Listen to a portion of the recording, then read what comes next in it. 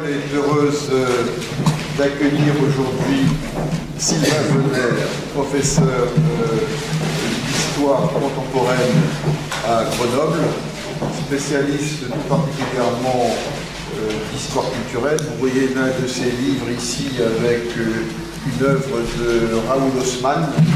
Il faut d'ailleurs savoir qu'une jeune chartiste est conservateur du musée Raoul Haussmann au fin fond de, de la Haute-Vienne se sont rassemblées les collections de cet artiste entre Dada et surréaliste. Je commence par lui puisque ce n'est pas la première fois qu'il vient à l'école, mais c'est la première fois que l'école euh, l'invite. Il a accepté d'être euh, le discutant de Laurent Afzou, qui vient ici de temps en temps, mais je crois que c'est aussi euh, la première fois ou l'une des premières fois qu'il s'exprime derrière cette estrade de, de l'autre côté de la chair. Personne n'a oublié ici parmi les chartistes son, son travail sur euh, sa thèse publiée sur l'image de Sully. Depuis, il a fait quelques infidélités à son personnage pour s'intéresser à d'autres. C'est de cela qu'il est question euh, ce soir. Et je vous laisse à tous les deux, dorénavant, la parole. Merci, monsieur le directeur.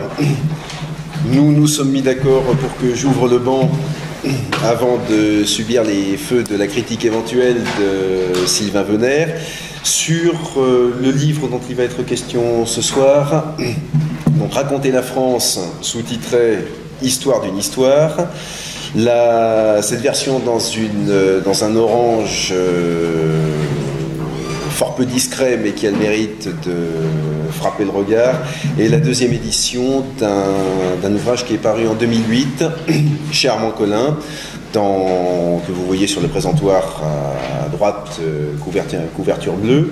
Un ouvrage que je n'ai pas fondamentalement enrichi dans cette deuxième édition, sinon en y ajoutant une, un chapitre de postface relative au euh, quinquennat Sarkozy 2007-2012, hein, qui euh, s'était interposé entre la première et la deuxième édition, et qui me paraissait avoir, étant donné le sujet envisagé, une véritable cohérence. puisque, quel est l'objet? Ou quels sont les objets? Parce qu'on pourrait me reprocher d'en avoir, euh, d'avoir trop embrassé, justement, de ne pas avoir réussi à tout étreindre. Et Sylvain Venner est, est ici également pour me discipliner sur, euh, sur la fin. L'objet part d'un constat, un constat que beaucoup d'entre nous, tous, avons, avons pu faire dans la société où nous vivons, c'est-à-dire celui d'un marché historique à la fois extrêmement dynamique, saturé dans un autre registre, et qui, dans le même temps, menace d'échapper aux historiens patentés. C'est le temps des Max Gallo pour une version encore relativement académique, de François Reinhardt pour l'histoire prise en charge par euh, les journalistes et du triomphant Laurent Deutsch dans la dernière euh, mouture, celle où euh, l'histoire d'amateur devient l'histoire qu'il faut entendre et qui se suffit à elle-même. Depuis quelques décennies, l'histoire semble être un marché commun au sens où chacun vient y prélever parmi les étals qui sont euh, livrés à sa curiosité les ingrédients susceptibles de nourrir une démarche ponctuelle, mais qui, retirés de leur contexte, perdent leur teneur proprement historique. Alors que nous pouvons considérer que le cahier des charges de l'historien et de savoir formuler les bonnes questions, l'histoire se retrouve sommée depuis un certain temps de livrer des réponses, des certitudes définitives, autosuffisantes, et qui bien euh, fréquemment ressemblent à des articles de foi. C'est ce que François Hartog a diagnostiqué dans euh, son livre sur les régimes d'historicité comme le temps du présentisme.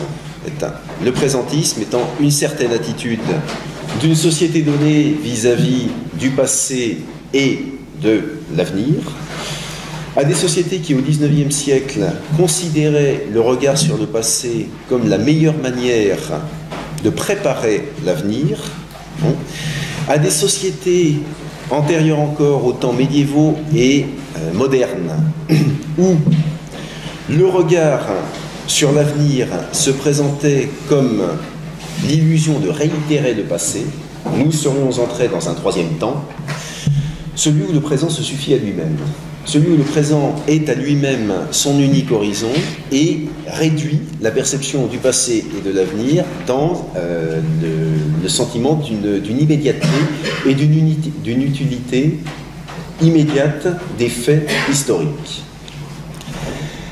Alors, face à cette tendance, qui est une tendance sociale et pas professionnelle, quelles peuvent être les attitudes de l'historien? Soit se draper dans sa dignité professionnelle, donc euh, gravir les, euh, les, étages de l'escalier en colimaçon de la tour d'ivoire dans laquelle il va ensuite euh, remâcher, sa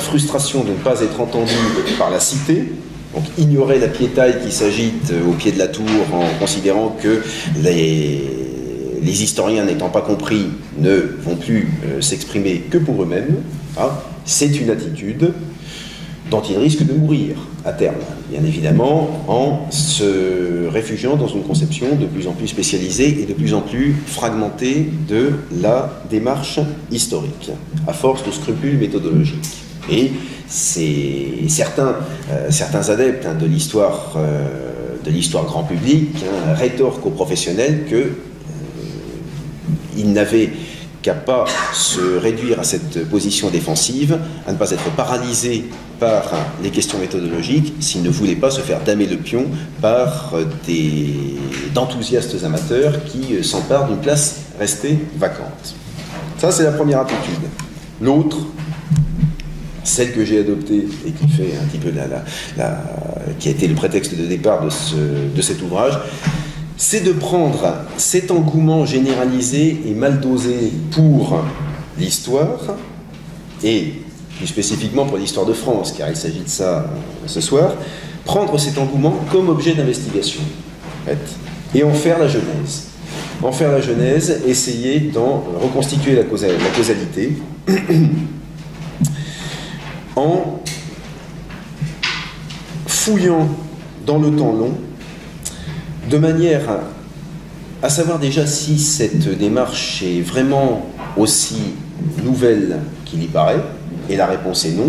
C'est-à-dire que le travail sur l'histoire, le travail sur l'histoire de l'histoire, la méta-histoire pour parler pompeusement, est un exercice de fort longue date déjà, dont on peut, dans une certaine mesure, faire remonter la Genèse au XVIe siècle, hein, au siècle étudié par euh, George Huppert, donc dans son ouvrage sur l'idée de l'histoire parfaite, hein, qui date des années, euh, qui date de 1964, mais euh, a gardé toute sa jeunesse pour, pour mon propos.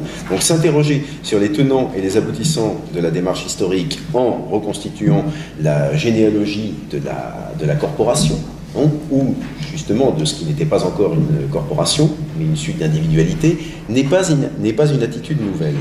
Ce qui est nouveau à bien y réfléchir, ce qui est relativement récent à l'échelle de l'histoire, c'est de concevoir la démarche historique comme une démarche de professionnels à prétention objective, ayant pour finalité à elle-même euh, le démêlement du vrai et du faux.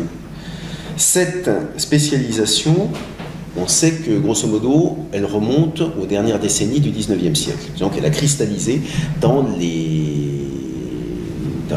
sous, la, troisième, République.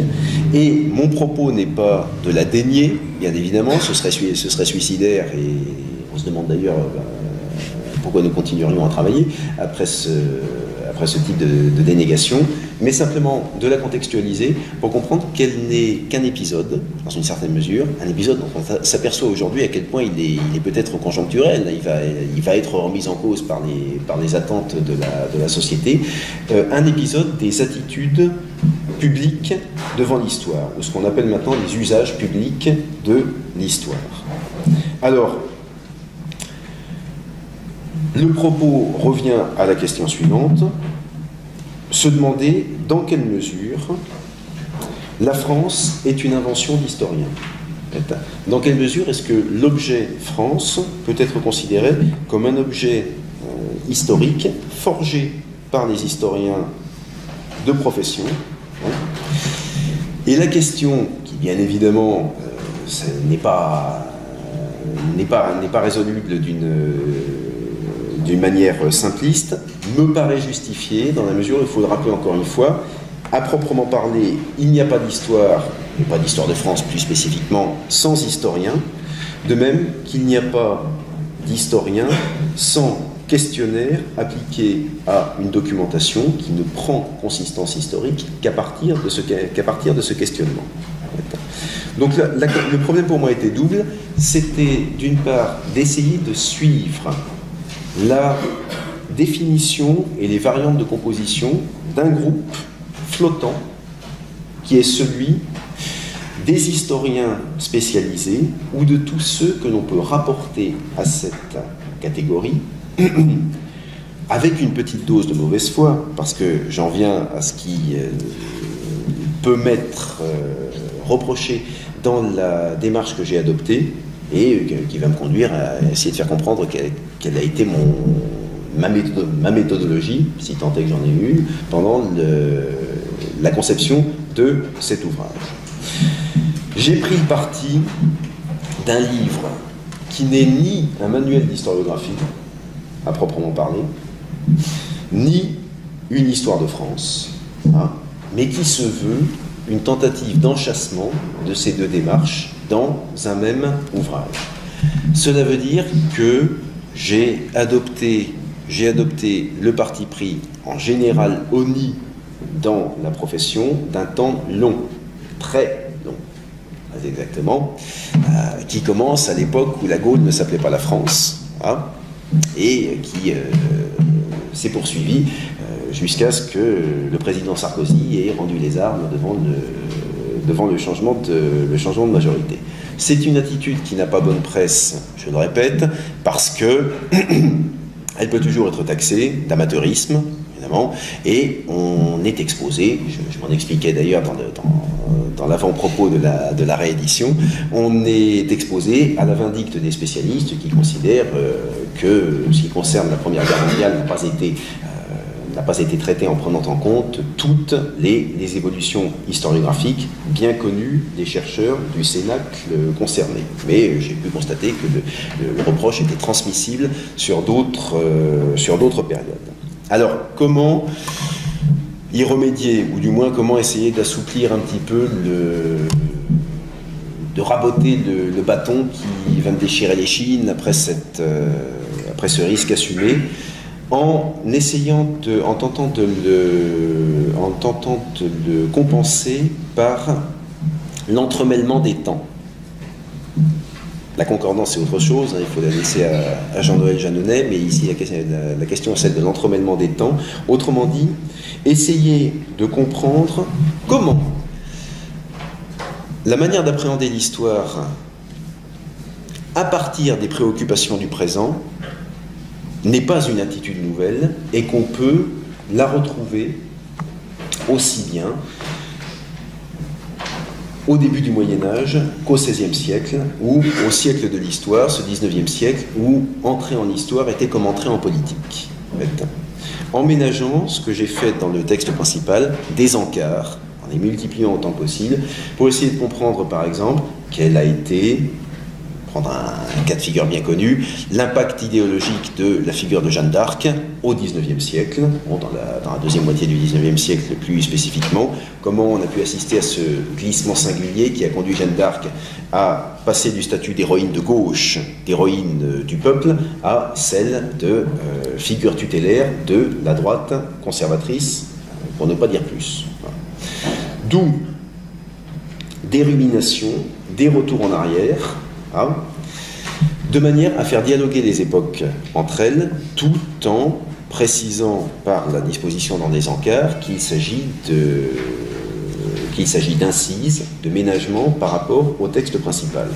Parce que le texte principal, c'est autre chose, c'est l'histoire d'une histoire. Donc c'est l'histoire de l'histoire de France, un récit sur le récit, suivi en neuf temps, en neuf temps chronologiques, hein, et qui se veut un métadiscours, hein, un discours sur le discours, articulant l'approche historiographique, je parle toujours d'historien, ou de chroniqueur, d'analyste, euh, réduisons au terme historien par, simplification terminologique, bien évidemment, je sais qu'il est, contestable euh, à, grande, euh, à, grande, échelle, en articulant donc l'appréhension des historiens de leur méthode de travail et de leur, de leur attitude intellectuelle avec l'identitaire, en fait, avec la quête d'identité qui sous-tend qui me semble être de très commun, sous-tendant leur démarche depuis les origines de l'histoire chrétienne, en général, jusqu'au euh, jusqu'à l'actuelle euh, sortie, euh, la période de sortie du paradigme des annales, hein, dont on ne finit pas de sortir depuis, depuis 25 ans, et qui n'en maintient pas moins le souci d'une quête d'identité. L'identité de quoi? Justement, la, question peut être variable en fonction des temps concernés. Et j'en parlerai, parlerai tout à l'heure. Ça m'a permis de constater ce que bon nombre d'entre vous, d'entre nous avons constaté en, euh, en appréhendant un objet historique, c'est le décalage constant entre les déclarations de principe des acteurs la manière dont elle est démentie par leur mode opératoire dans la société, sans qu'eux-mêmes en soient conscients, et enfin, dans un troisième temps, la façon dont ils sont perçus, sont perçus par leurs contemporains ou par les générations ultérieures. Sylvain Venère et moi connaissons bien euh, le cas de figure, nous avons examiné l'un et l'autre de la pensée du comte de Boulainvilliers, donc, qui aurait été euh, bien surpris de, voir comment, après sa mort en 1721, elle a pu être totalement retrouvée, euh, métamorphosée à des fins à des fins doctrinales, celle de défendre un droit natif de la noblesse descendante, prétendument descendante des Germains, à dominer la société de l'Ancien Régime. ce que Boulainvilliers euh, n'avait pas présenté comme un article de foi dans ses, travaux. Donc, euh, Boulainvilliers post-mortem n'a pas grand-chose à voir avec le Boulainvilliers de ses écrits. Alors, bien évidemment, l'autre limitation méthodologique qu'on peut faire à peut faire à ma démarche, c'est d'intituler un ouvrage Raconter la France qui porte euh, sur une dimension bimillénaire euh, pendant laquelle de France à proprement parler il n'est pas question, sous une forme consciente et collectivement ressentie, au moins avant bah, la naissance de la nation France, dont Colette Beaune, l'une des, bien évidemment l'une des historiennes dont je me suis dont je me suis inspiré, a suivi l'émergence progressive entre le XIIe et le XVe siècle. J'assume ce qui est tout de même une commodité de, commodité de titre, il, hein, faut bien, le reconnaître, en considérant aussi que la démarche consistant à entremêler des temps me permet, dans une certaine mesure, de tricher avec euh, un objet qu'on voit se révéler à lui-même progressivement à travers le prisme des historiens.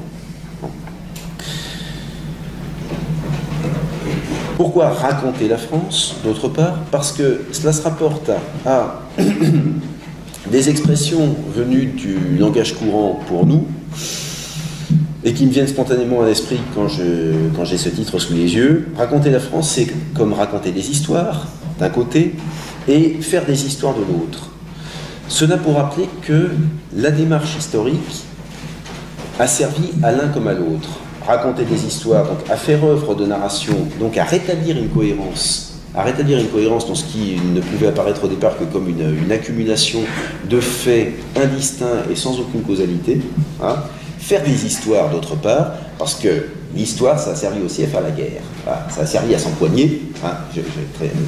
la profession historienne très exactement, ça a servi et ça sert encore, à affirmer des présupposés idéologiques qui très fréquemment échappent même à la conscience de, euh, à la conscience de leurs euh, instigateurs, mais qu'on voit se renouveler d'époque en époque.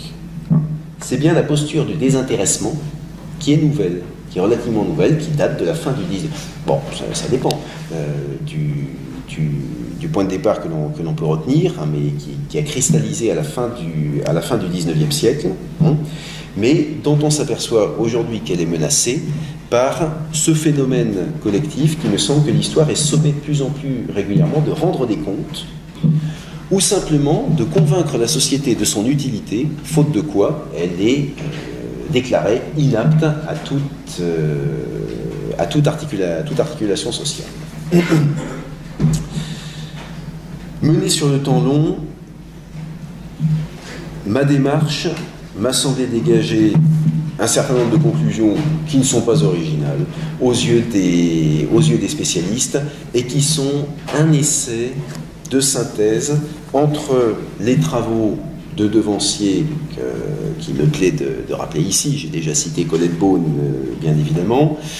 On peut aussi rappeler Philippe Joutard, Philippe Joutard et sa contribution à l'histoire de la France sous la direction d'André Burguer et Jacques Revel, qui remonte à la fin, qui remonte à 1989, et dans lequel il a euh, rédigé un chapitre intitulé Une passion française, l'histoire, dont on peut considérer mon livre comme une tentative de, dilatation. Je rappellerai également la personne de Christian Amalvi, bien connu de cette école, dont il est également un ancien, euh, un ancien élève, hein, qui m'a accompagné dans mes recherches et qui a été présent à mon jury de thèse euh, de doctorat, une thèse que j'ai consacrée à la légende de Richelieu, après avoir euh, fait ma thèse des chartes sur la, légende de Sully, la postérité de, Sully. Donc Christian Amalvi, qui s'est fait connaître par ses travaux sur les héros de l'histoire de France, sur de l'art et la manière d'accommoder les héros de l'histoire de France, pour reprendre le, titre fleuri hein, qu'il a, qu'il a donné, un recueil d'articles sur la question. Mais j'y classerai aussi un manuel d'historiographie qui va bien au-delà des, besoins ponctuels des étudiants, celui euh, écrit à six mains par euh, Christian Delacroix, François Doss et Patrick Garcia, sur les courants historiques en France au 19e et 20e siècle, dont je me suis inspiré pour la période euh, contemporaine. Et si si le livre eût été plus vieux, euh, j'aurais pu placer Sylvain Venère et ses origines de la France dans sa genèse, mais je me suis rattrapé dans la, je me suis rattrapé dans la, dans, dans la seconde, dans la seconde édition.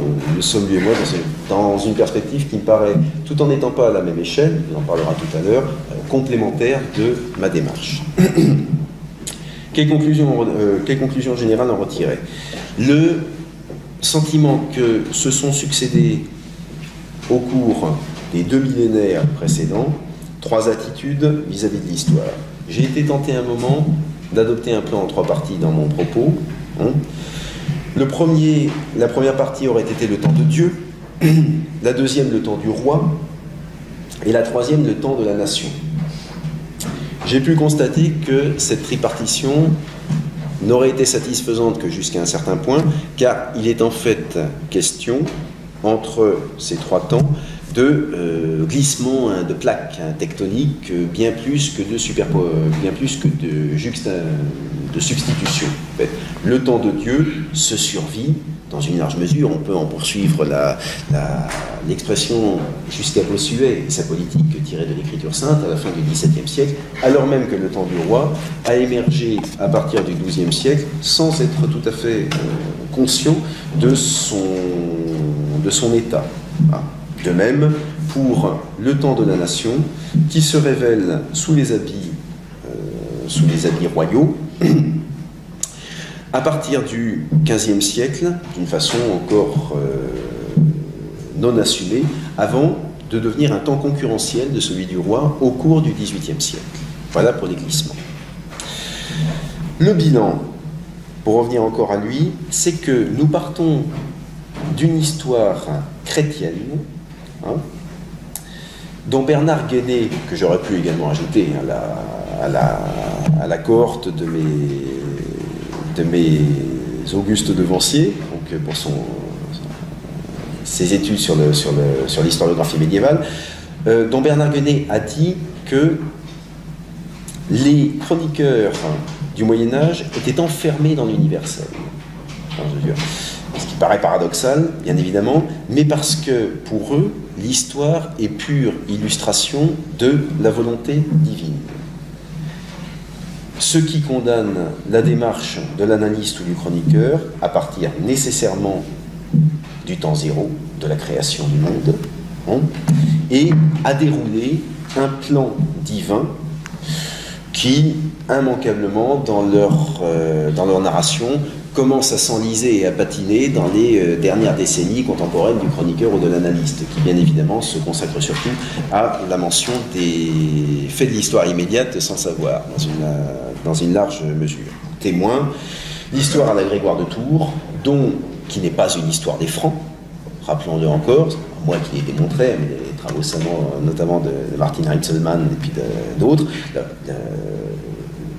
donc les, histoires, pour reprendre le titre originel de Grégoire de Tours, ne sont pas une histoire de des francs, mais une défense et illustration de de,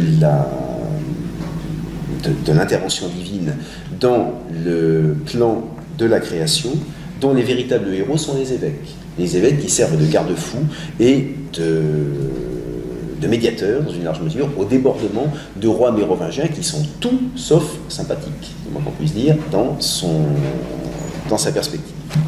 Ce n'est qu'aux alentours de l'an 1000, notamment à Fleury-sur-Loire, qu'on voit émerger une histoire des Francs qui est fondée sur un travail de réécriture des chroniques universelles sécrétées par les siècles précédents, mais où le destin d'un peuple commence à être isolé du propos universaliste. C'est désormais le passage au Gesta Dei per Francos, proprement parlé. Histoire des Francs qui reste une histoire de clerc, hein, et où,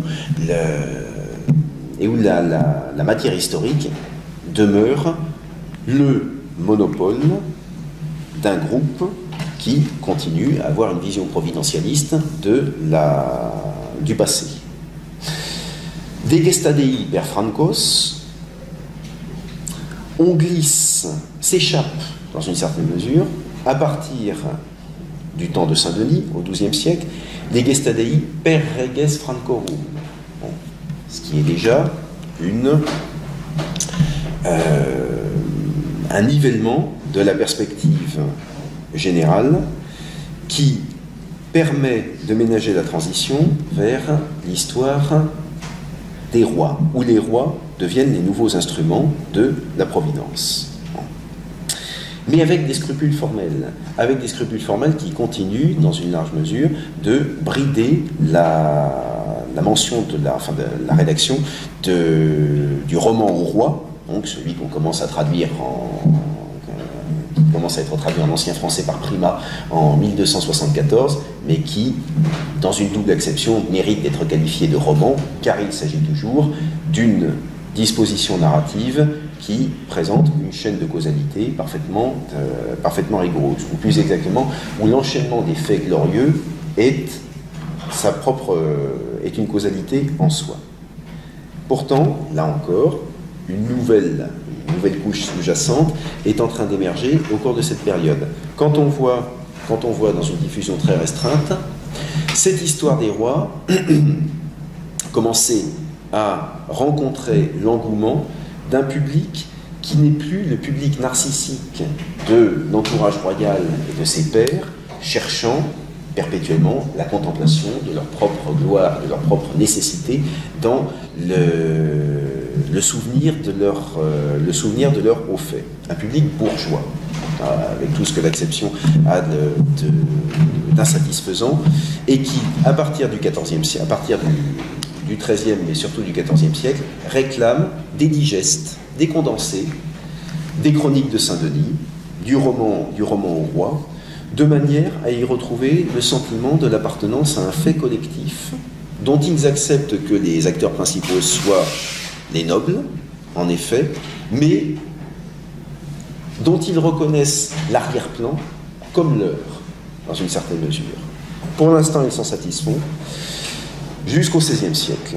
Jusqu'au XVIe siècle où on assiste, pour moi, c'est l'intitulé que j'ai donné à ce chapitre, à l'invention de l'histoire de France au sens de euh, découverte, hein, à proprement parler, de cet objet qui est enfin, qui est enfin conscient de lui-même. Hein. Et pour la première fois, on assiste un échange de signes dans la démarche historique. Il y en a un, deuxième, plusieurs même d'importance comparable, dont le dernier s'est joué à la fin du XXe siècle. Au XVIe siècle, c'est l'universel et le national qui échangent leurs perspectives. Désormais, l'histoire universelle est, vécue, est perçue comme un rétrécissement. Est perçue comme un rétrécissement, une euh, manière recroquevillée d'aborder la narration du passé. Au contraire, l'histoire nationale se met à confiner à l'universel pour la première fois, grâce à la longueur du questionnaire qui lui est imposé par ceux qui sont en train de la créer en tant qu'objet autonome. Et ceux-là, ce sont fréquemment des juristes, ou du moins des gens qui ont une, euh, qui sont passés par une formation, par une formation en droit, qui désormais ne se satisfont plus de la geste colorée des, pères, des, compagnons du roi, de, France, et veulent trouver leurs propres ancêtres, leurs propres ancêtres roturiers dans le récit des faits passés. C'est cela que George Huppert a donc étudié dans l'idée de l'histoire parfaite, hein, euh, ceux-là qui ont nom euh, Lancelot voisin de la Poplinière, Jean Baudin et surtout Étienne Pasquier avec ses recherches de la France auxquelles il a consacré euh, plus de 55 ans d'investigation. Ce siècle d'invention de l'histoire de France est riche d'un point de vue programmatique. Il est très pauvre du point de vue des réalisations. L'écart, on peut même considérer que l'écart est alors maximal entre les déclarations d'intention, qui ne sont pas des déclarations d'intention, mais aussi le cahier des charges que s'imposent ces nouveaux historiens, et la faiblesse de leur réalisation concrète. Ils n'arrivent pas, ils ne parviennent pas pour une première euh, série de scrupules méthodologiques, à passer l'étape de la synthèse. À un moment qui serait pourtant opportun, dans la mesure, dans la mesure où l'histoire des rois marque le pas au même moment, où, pour des raisons de politique, euh, générale, il n'y a plus de sponsor royal euh, digne de ce nom, ni au temps de, François Ier finissant et d'Henri II, ni à plus forte raison pendant les guerres de religion. On peut considérer rétrospectivement que la place était, semblait euh, bonne à prendre à ce moment-là. Ce n'est pourtant pas, ce n'est pourtant pas à la redéfinition d'un récit de l'histoire de France que ces nouveaux historiens se sont consacrés. C'est à un autre type de démarche. Un autre type de démarche dont Sylvain Venère s'est fait euh, l'évocateur euh, très pertinent pour le 19e siècle, mais qui joue une première fois au 16e siècle. La quête de légitimité, la quête d'identité. Hein. en langage clair, le plus, le plus actif, le plus concret de ce que les nouveaux historiens que j'ai cités mettent dans la balance à ce moment-là, c'est la question des origines de la nation. Ce sont des débats sur la question des origines de la nation, de savoir si celle-ci, si euh, nous, Français, nous descendons prioritairement des Troyens, la version a du plomb dans l'aile dès le début du XVIe siècle, mais elle garde de mots restes qu'il ne faut pas, qu'il ne, faut pas négliger. Est-ce que nous descendons des Gaulois? Et cela, et cela flatte la quête d'autochtonie, en fait, qui est en train de saisir toutes les nations en formation en Europe occidentale à cette à cette époque, le problème des Gaulois, c'est que ça nous fait euh, démarrer avec des vaincus, des, euh, une première identification qui, euh, qui, qui est morte dans une certaine mesure de sa révélation par César dans le texte de la guerre des Gaules, parce que c'est une redécouverte d'humaniste, hein, évidemment aussi, ou enfin est-ce que nous descendons des Francs? Est-ce que nous descendons des Francs? Ce qui est une manière de répondre au défi lancé par la redécouverte symétrique de l'autre côté du Rhin de la Germanie de Tacite, et qui présente ici un miroir flatteur aux Allemands dans la mesure où ils ont des ancêtres restés dans leur bain et qui sont restés insoumis à l'autorité romaine. Bien, la meilleure façon de euh, ne pas se sentir submergé par ces vainqueurs, c'est de les travestir de toutes les manières possibles et imaginables. Et on va, et on va assister à des euh, tournures terminologiques à la limite du délire intellectuel pour démontrer que les Germains ne sont rien d'autre que des Gaulois d'ancienne génération, qui ont passé le Rhin à un moment donné et dont les descendants sont euh, repartis en sens inverse pour coloniser, pour coloniser la Gaule. Donc d'une certaine manière, c'est la Germanie qui a été dominée par les Gaulois qui s'ignorent, hein, d'une manière comme une autre, de consoler une blessure narcissique que les nouveaux historiens dont j'ai parlé semblent être les premiers à avoir appréhendé. On reverra les retours de bâton de ces problèmes, de ces problèmes de conception au XVIIIe siècle. Dans l'intervalle, au XVIIe siècle, la monarchie a repris l'initiative. En prenant en compte une partie des réflexions critiques du siècle précédent.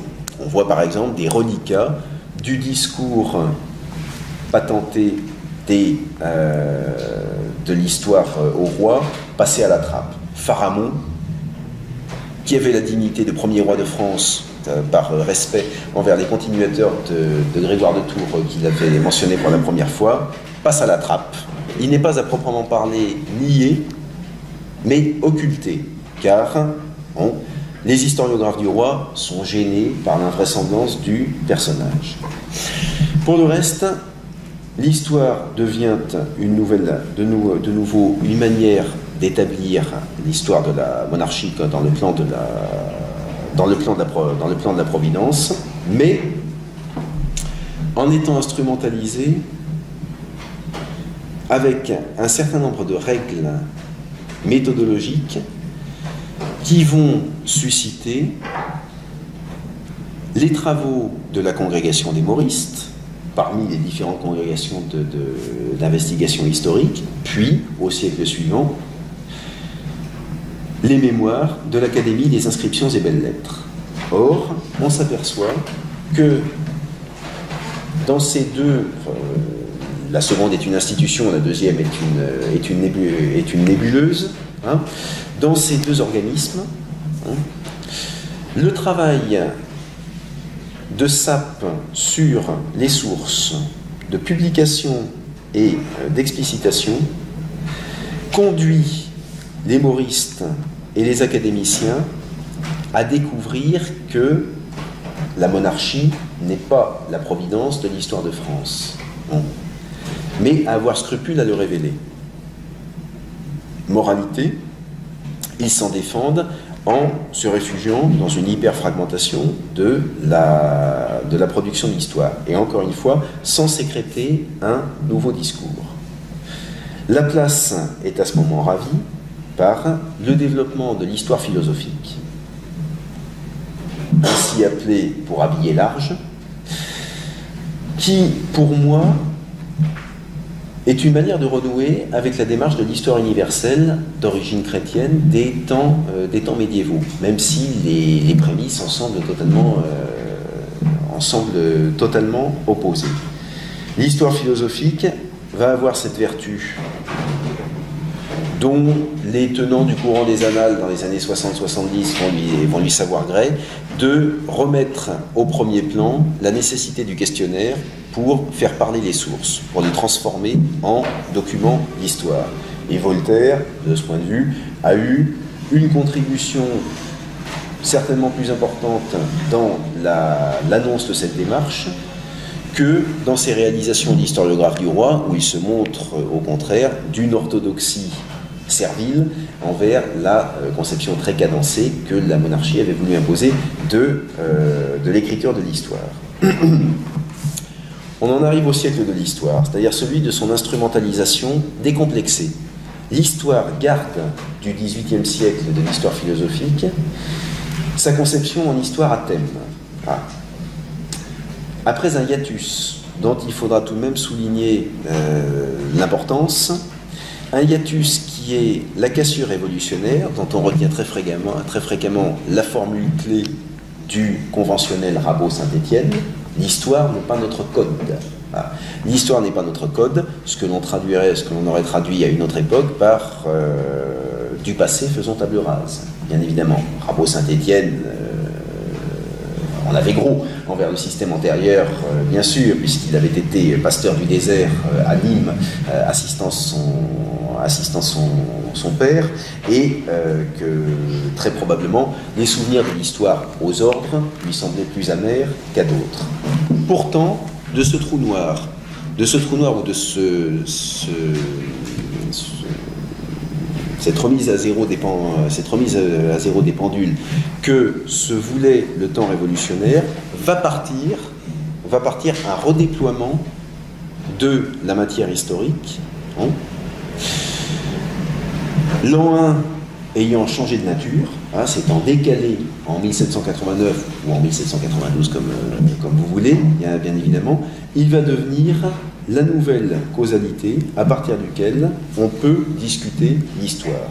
Tous les temps antérieurs sont considérés comme des prolégomènes à l'effervescence révolutionnaire, qu'elle soit considérée comme un malheur ou comme le bien de bien absolu, avec tout un, dégradé de situations, euh, de situations euh, intermédiaires, les temps suivants étant considérés comme une réitération de l'aventure révolutionnaire hein, qu'il faut mener jusqu'à son accomplissement. C'est pour cette raison que j'ai pu dire tout à l'heure, enfin, c'est pas moi qui l'ai inventé non plus, je m'en référais à ce que, ce que d'autres ont dit avant moi, que faire de l'histoire au XIXe siècle est une manière d'entrer en politique, d'afficher sa couleur légitimiste, orléaniste, libérale, jacobine, etc.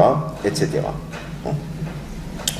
Pourtant, dans le même temps, si on considère le règne de Louis-Philippe, par exemple, il est celui d'une cristallisation fondamentale euh, des, institutions qui vont contribuer à la professionnalisation de l'histoire. Pensons à cette auguste maison dont la première mouture a été euh, établie par Louis XVIII en 1821 et qui est tributaire de la réorganisation euh, surtout de 1846, mais également à la Société de l'Histoire de France ou, dans, un, autre registre aux démarches patrimoniales d'Arcis de Caumont qui vont ensuite être déployées à l'échelle nationale. La distorsion est donc encore importante entre les réalisations concrètes, dans une large mesure, et le parti pris assumé d'histoire engagée que prennent tous les, praticiens de ce premier 19e siècle. La synthèse aboutit à l'histoire méthodique, qui connaît ses meilleurs jours sous la Troisième, sous la troisième République. Pour la première fois, sous une forme vraiment globale, les historiens s'affirment comme une profession, avec son cahier des charges normalisé, sa méthodologie hein, et une objectivité qui euh, prête, considérablement, à caution, mais dont vont désormais rester tributaires dans la démarche, euh, dans la démarche revendiquée les générations qui se sont succédées jusqu'à nos jours. Avec le recul, on peut considérer que cette cristallisation a placé la barre très haut, a placé la barre très haut et a condamné à l'infaillibilité les historiens de profession qui se sont fait répliquer vertement une première fois dans les années 1930 par le courant des annales que leur objectivité n'était qu'un leurre, qu'elle se traduisait par dans un sens restrictif, une vision extrêmement étroite et minimaliste du document d'histoire, hein, et de l'autre, par le péché d'avoir nourri le patriotisme cocardier inconsciemment pour aboutir à la reconstitution, pour la première fois, d'une version narrée de l'histoire de France qui rétablit une démarche providentialiste, et où cette fois, la nation a définitivement remplacé le roi, comme celui-ci avait fini par se substituer à Dieu pour euh, établir la chaîne des, la chaîne des causalités. Pour autant, la démarche des annales a elle-même suscité, à 60 ans de distance, un tournant critique. Pour reprendre la formule de la revue elle-même quand elle a essayé de faire son aggiornamento en, 1900, en 1989, on peut considérer ces 60 années comme une période au cours de laquelle l'histoire nationale a été mise à distance comme objet d'investigation légitime.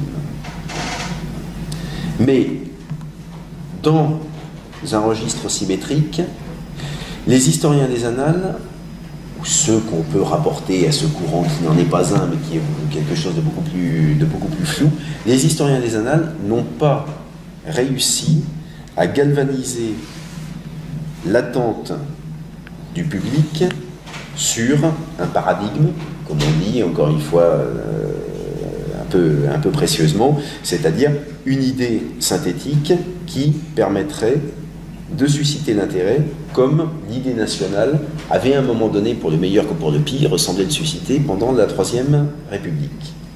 D'où le second changement de signe, sur lequel je vais terminer le propos, ensuite je laisserai la parole à, Sylvain Venner, le second changement de signe que l'on voit s'amorcer dans les années 1970-80, et dont Pierre Nora s'est fait le décrypteur, hein, non seulement à travers la, grande, le grand chantier des lieux de mémoire, mais aussi euh, au travers des différents articles où il est revenu sur la démarche qu'il s'était lui-même assumée. Quel changement de signe? D'un côté, la mémoire est devenue objet d'histoire. La mémoire, c'est-à-dire la sédimentation de toutes les perceptions affectives, attendries, que l'on a du passé, et qui ont pu sécréter une action concrète. Des études ont commencé à émerger sur la question, comme par exemple celle de Philippe Juntard sur euh, la manière dont le souvenir de la guerre des Camisards avait été entretenu dans les Cévennes et dont il s'est fait le traducteur à travers euh, l'histoire orale, notamment, en, en, recueillant des témoignages transmis de génération en génération.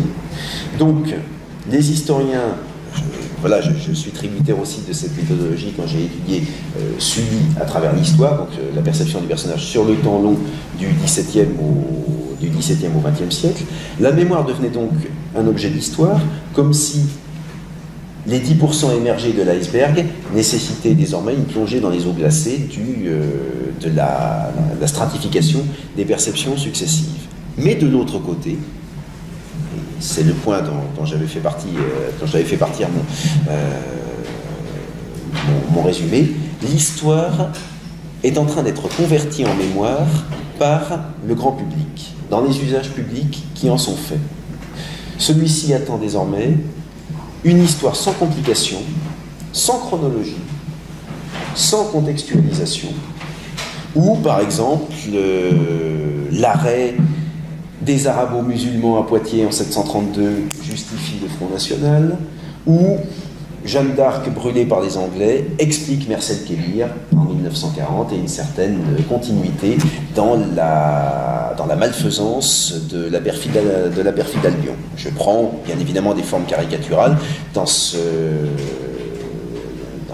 l'expression de, cette, euh, dans l'expression de cette tendance, mais euh, qui me semble par là même plus, plus explicite. D'une manière générale, l'histoire telle que l'attend le grand public est un récit compassionnel qui permet de euh, lécher ses blessures affectives, celles du groupe auquel on appartient, celles de la famille dont on se sent, dont on se sent solidaire, et de pleurer avec une, certaine forme d'auto-attendrissement sur les malheurs que les euh, générations passées ont fait, ont infligé à notre groupe.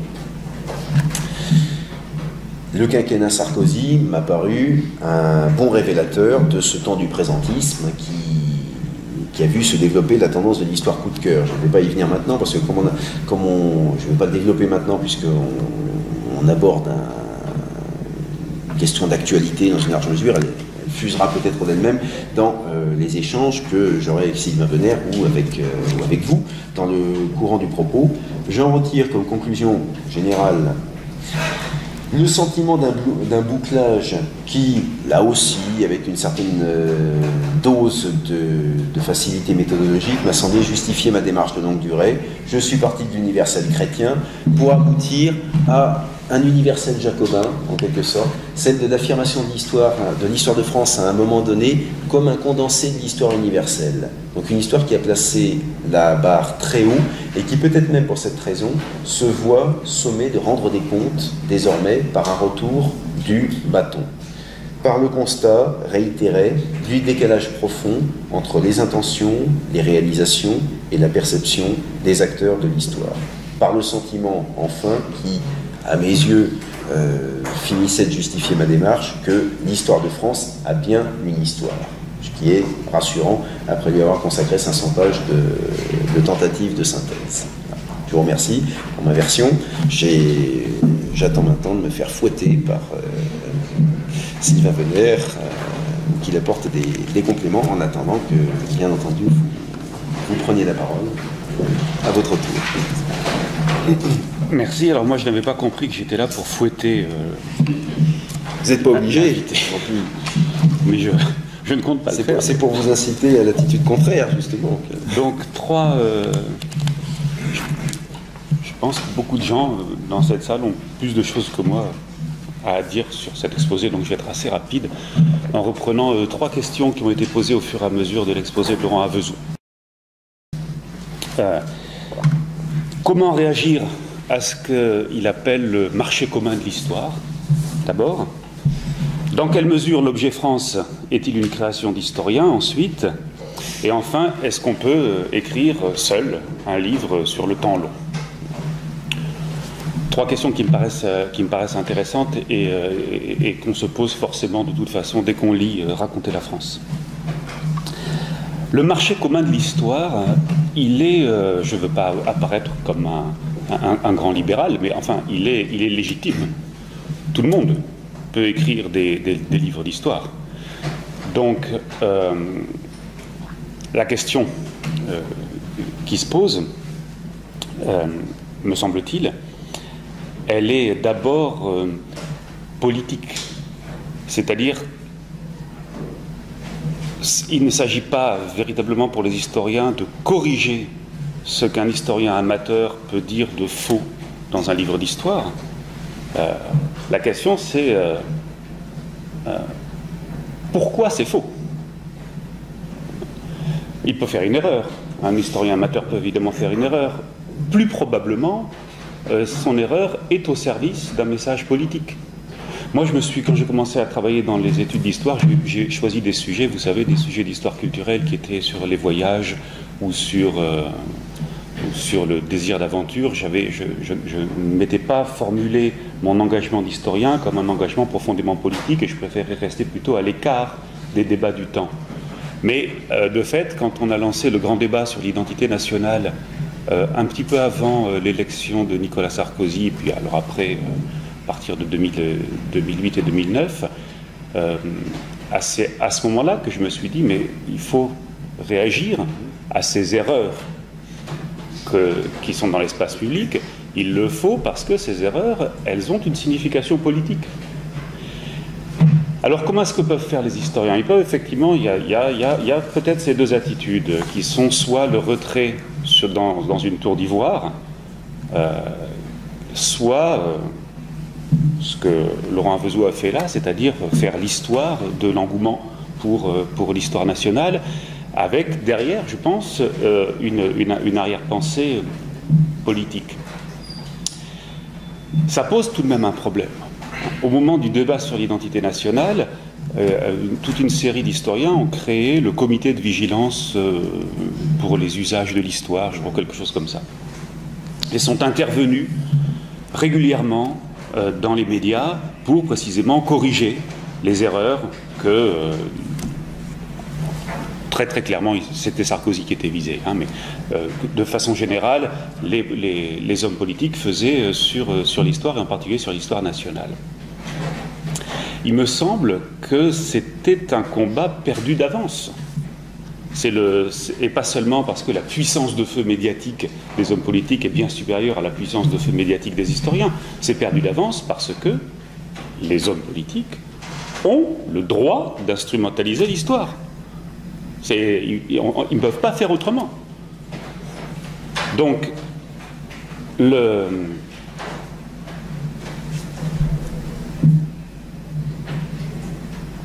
que peuvent faire les historiens, c'est ce que fait Laurent Avezoux dans Raconter la France.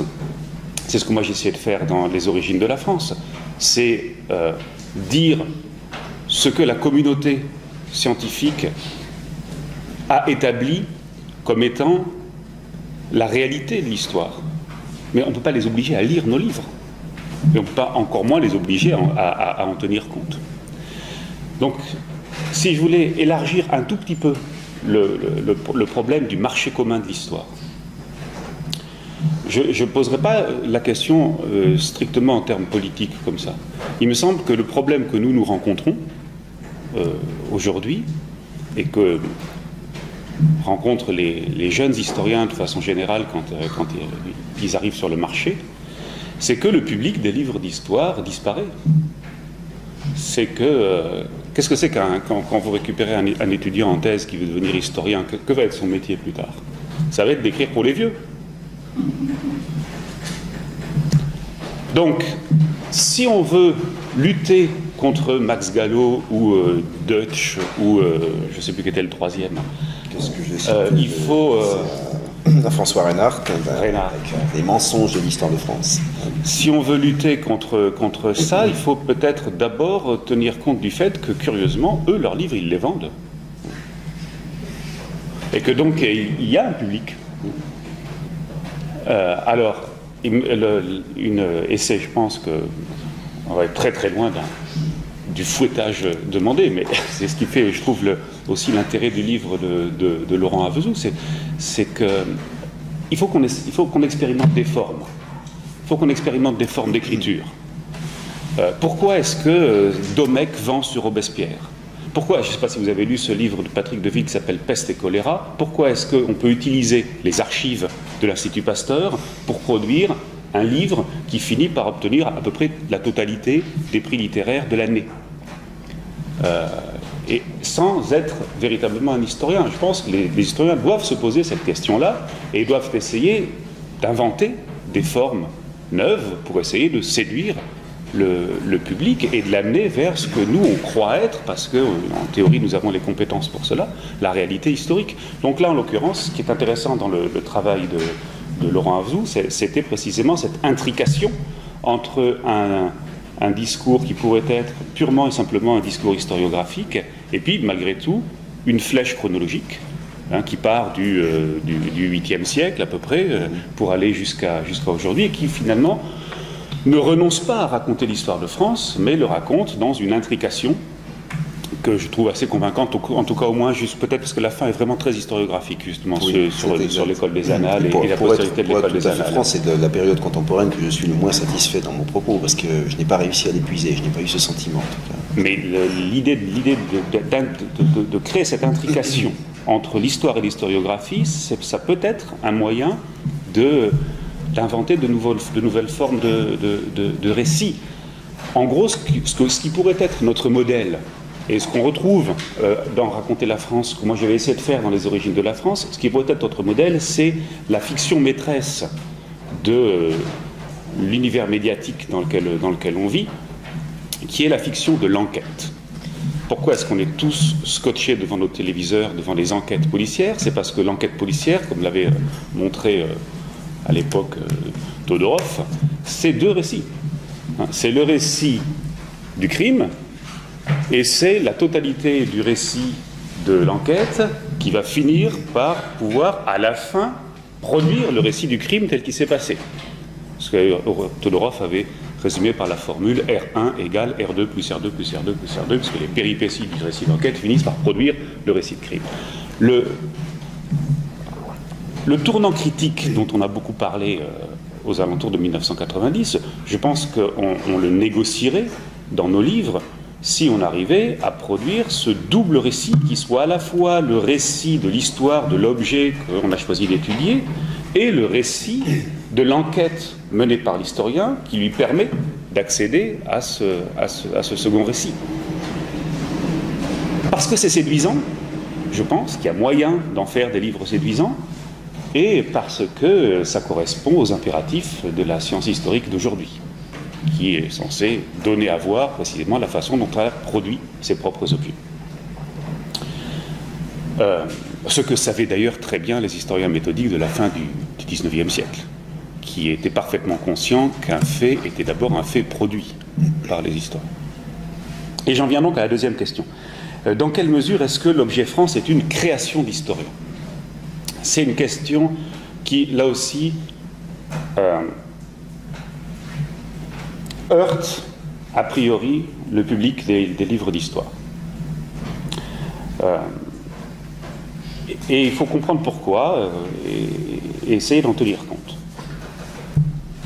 Moi, quand j'ai écrit Les origines de la France, j'ai reçu une lettre d'une lectrice qui euh, m'a insulté en, en m'expliquant, la lettre se concluait par Vous êtes un enfant de la République, point d'exclamation, avec l'idée que puisque je démontais la façon dont, effectivement, depuis la Révolution française, on a proposé différentes origines euh, à la nation française, euh, je ne voulais pas voir, disait mon, ma, correspondante, que la nation française ne commençait pas avec la, avec la, Révolution. Et en fait, c'est une bonne objection, c'est-à-dire que ce n'est pas parce que c'est tout le problème de l'historiographie, si vous voulez. Si vous faites de l'historiographie, au bout d'un moment, le risque, c'est que vous vous en, veniez à dissoudre votre objet. Hein, votre objet disparaisse au profit d'un discours qui, comme le dit Jacques Rancière, n'est que la contrefaçon de la science. Ça, ça, son imitation, sa singerie, en quelque sorte. Donc, c'est ce que disait déjà Patrick Géry quand il avait fait ce livre sur, euh, qui avait été traduit en français sous le titre Quand les nations. Euh, quand les nations racontaient l'histoire. Écrivent l'histoire, ou les nations refont l'histoire.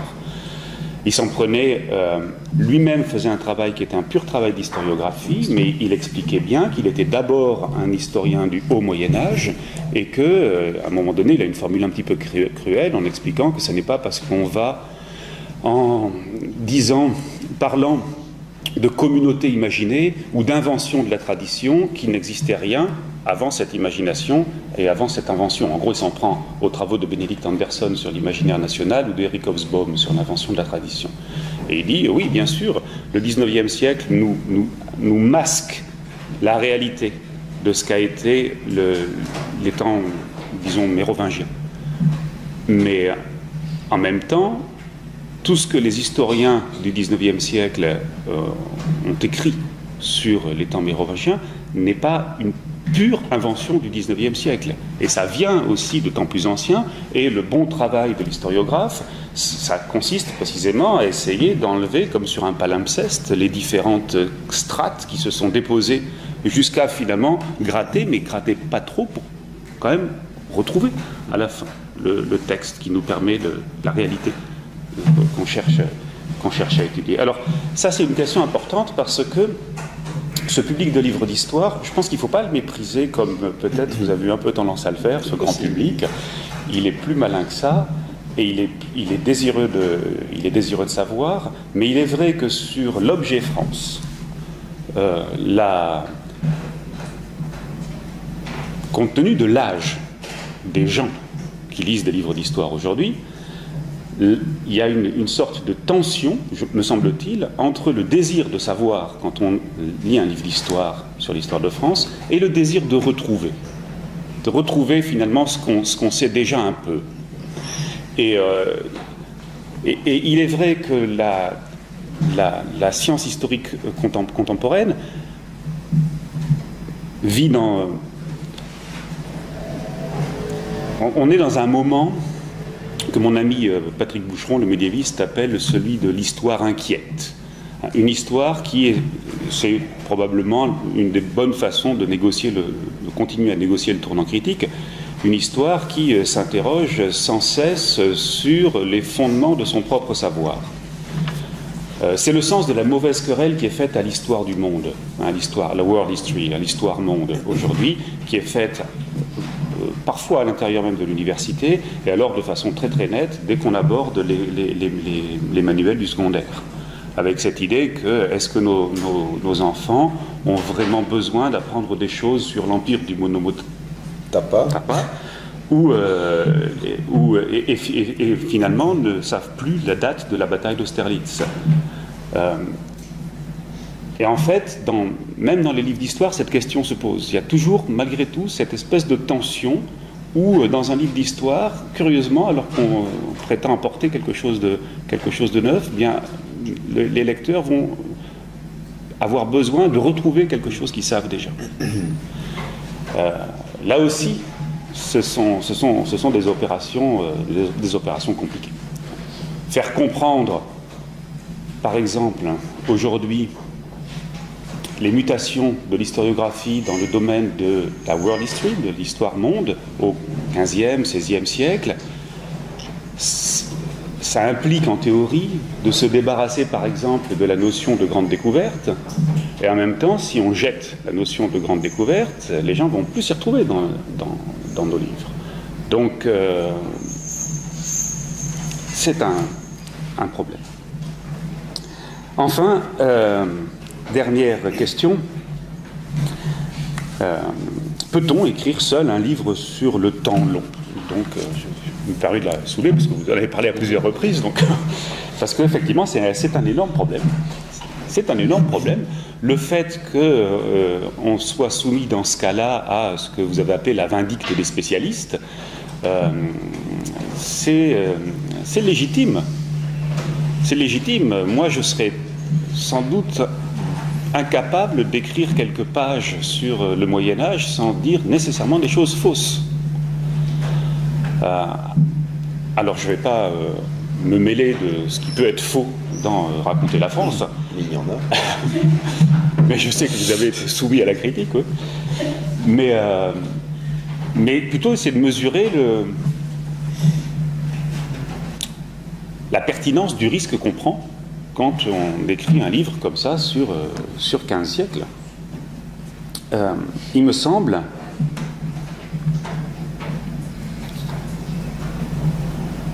il me semble que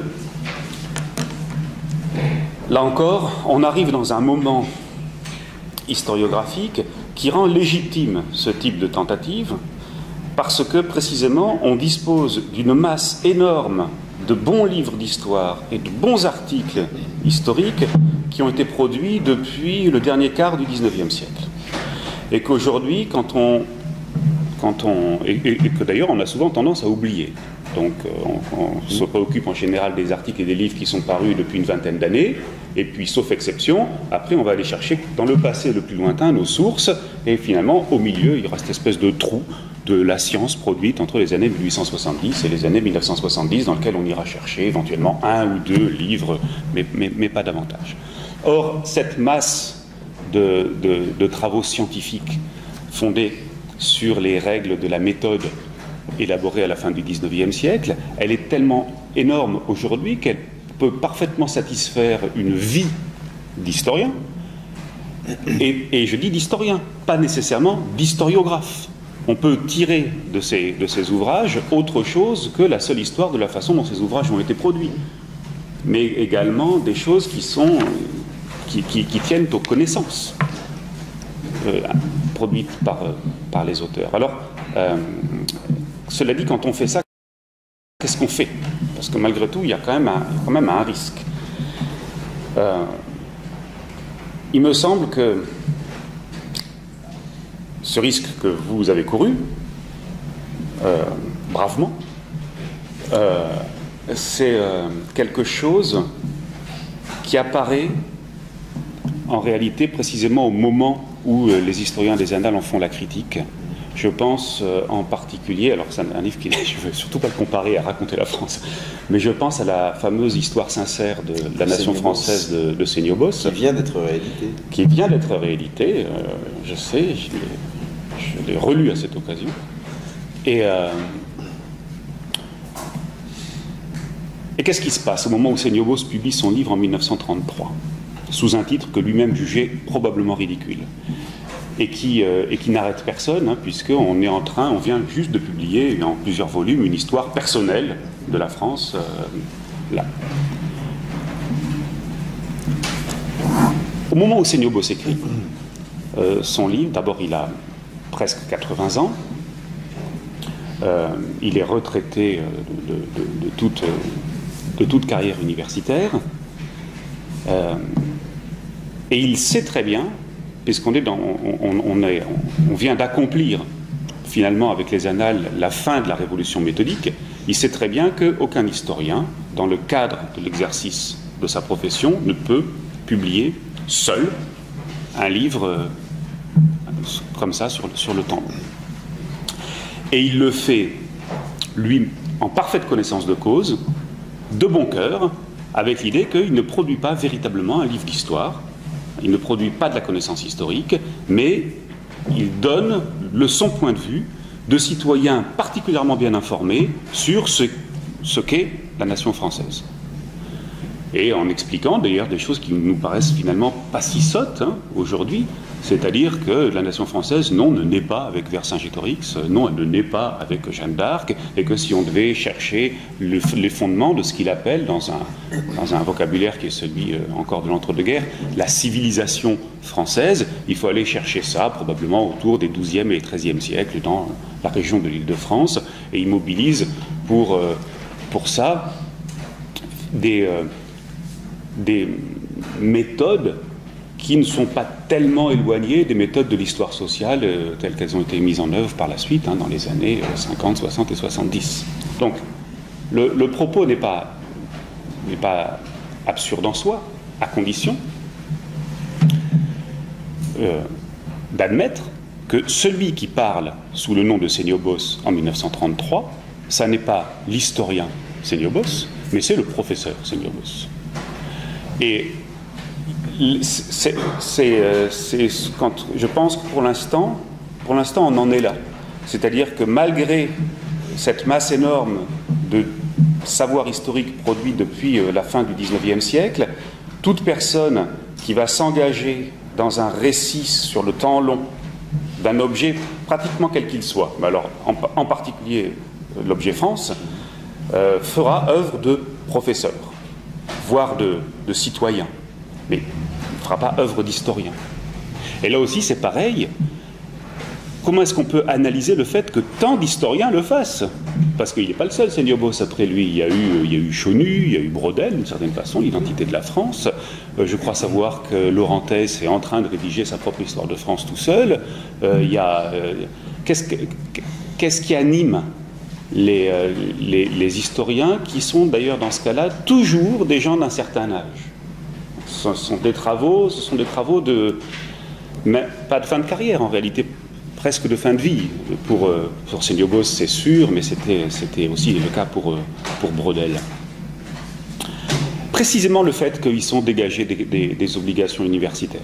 Précisément le fait qu'ils peuvent s'engager d'un seul coup à ce moment-là dans la une sorte d'immense essai dont eux-mêmes reconnaissent, Pierre Goubert par exemple a fait la même chose, reconnaissant parfaitement qu'il euh, était compétent sur la période que lui-même avait travaillé pendant toute sa vie, mais que pour le reste, euh, il ne savait pas très très bien exactement où il allait, mais il le faisait parce qu'il avait le sentiment que malgré tout, après une vie passée à lire des livres d'histoire et des articles d'histoire et des thèses d'histoire, il en savait sans doute plus long que la majorité de ses, de ses concitoyens, et en particulier des plus jeunes, et qu'il avait envie euh, de dire son mot, sa vérité, sur un objet qui lui tenait à cœur et qui était la nation. Euh, pour l'instant, je pense qu'on en, est encore, euh, on en est encore là. Il est difficile pour un historien de produire un livre d'histoire qui ne soit, pas, soit pas un livre de professeur, sur le temps long, même si, et c'est votre cas, donc euh, je, le, souligne, même si on reste attentif à la grande leçon de, Lucien Fèvre quand il avait assassiné le livre de Séniobos en 1933, en accusant Séniobos de se désintéresser dans l'histoire de ce qui devait intéresser les historiens, c'est-à-dire la différence, c'est-à-dire ce qui diffère entre les époques, et il avait accusé Séniobos de rechercher finalement le même, de rechercher l'identité, de rechercher la nation, la nation telle que, telle que effectivement, Séniobos se, se refuse à la définir différemment depuis le XIIe siècle, sans s'imaginer ce que les gens mettaient derrière ce mot nation au fur et à mesure que les âges passaient. Euh, et c'est l'intérêt de la démarche euh, historiographique et de cette intrication euh, de, la, de la réalité passée et de la réalité historiographique qui est dans le livre de, Laurent. Merci. Mais, je, voudrais ajouter en complément par rapport à, ce que vous avez dit que un ou deux points Bon, vous m'avez, vous m'avez bien percé à jour. Hein. C'est-à-dire que si je me suis senti décomplexé pour aborder cette, euh, pour aborder cette étude, c'est que moi-même, je suis déchargé de l'université. Donc j'ai fait le, choix de, un peu imposé par la force des choses et par le, caractère très transversal de mes approches, d'enseigner en classe préparatoire. Et en effet, cela m'a décomplexé dans une certaine mesure euh, vis-à-vis de ce que m'aurait, euh, de ce qu'aurait impliqué pour moi l'appartenance à une, euh, l'appartenance à une équipe de recherche bien calibrée. Bon, heureusement pour moi, j'ai fait une histoire générale de l'histoire de France et non pas une histoire générale de la France. Parce que sinon, après ce que vous avez dit, je m'inquiéterais en sortant d'ici qu'une tuile ne me tombe sur la tête, étant donné que c'est une démarche de fin de vie. Et j'ai peur, euh, j'aurais très peur à ce moment que, pour moi, euh, l'abréviation n'arrive sur un, sur un mode euh, violent. J'ai bien aimé que vous renvoyiez à la, à l'exemple de l'histoire sincère de la nation française, qui a aussi cette vertu pour nous, de nous rappeler à quel point les, jeux de perception peuvent être euh, fatals à tel ou tel, à tel ou tel auteur. On a connu cet ouvrage jusqu'à l'heure actuelle par la critique assassine de Lucien Fèvre, qui parlait du pauvre Séniogos, il allait, jusqu'à cette formule, dans euh, le compte-rendu, euh, reproduit ensuite dans les, dans les combats, dans les combats pour l'histoire. Donc il y a il y a là-dedans un rappel à, tout de même à la nécessité de revenir aux sources, quand bien même il s'agit de sources imprimées ici, pour euh, voir ce qu'elles sont dans leur littéralité et ce qui, euh, ce qui peut en rejaillir pour nous à 80, en l'occurrence à 80 ans de, distance. Et pour le reste, euh, bah, écoutez, j'en appelle maintenant à, l'auditoire, hein, s'il veut procéder à la flagellation que Sylvain Venère m'a épargné, hein, qu'il ne se gêne pas, nous pouvons débattre.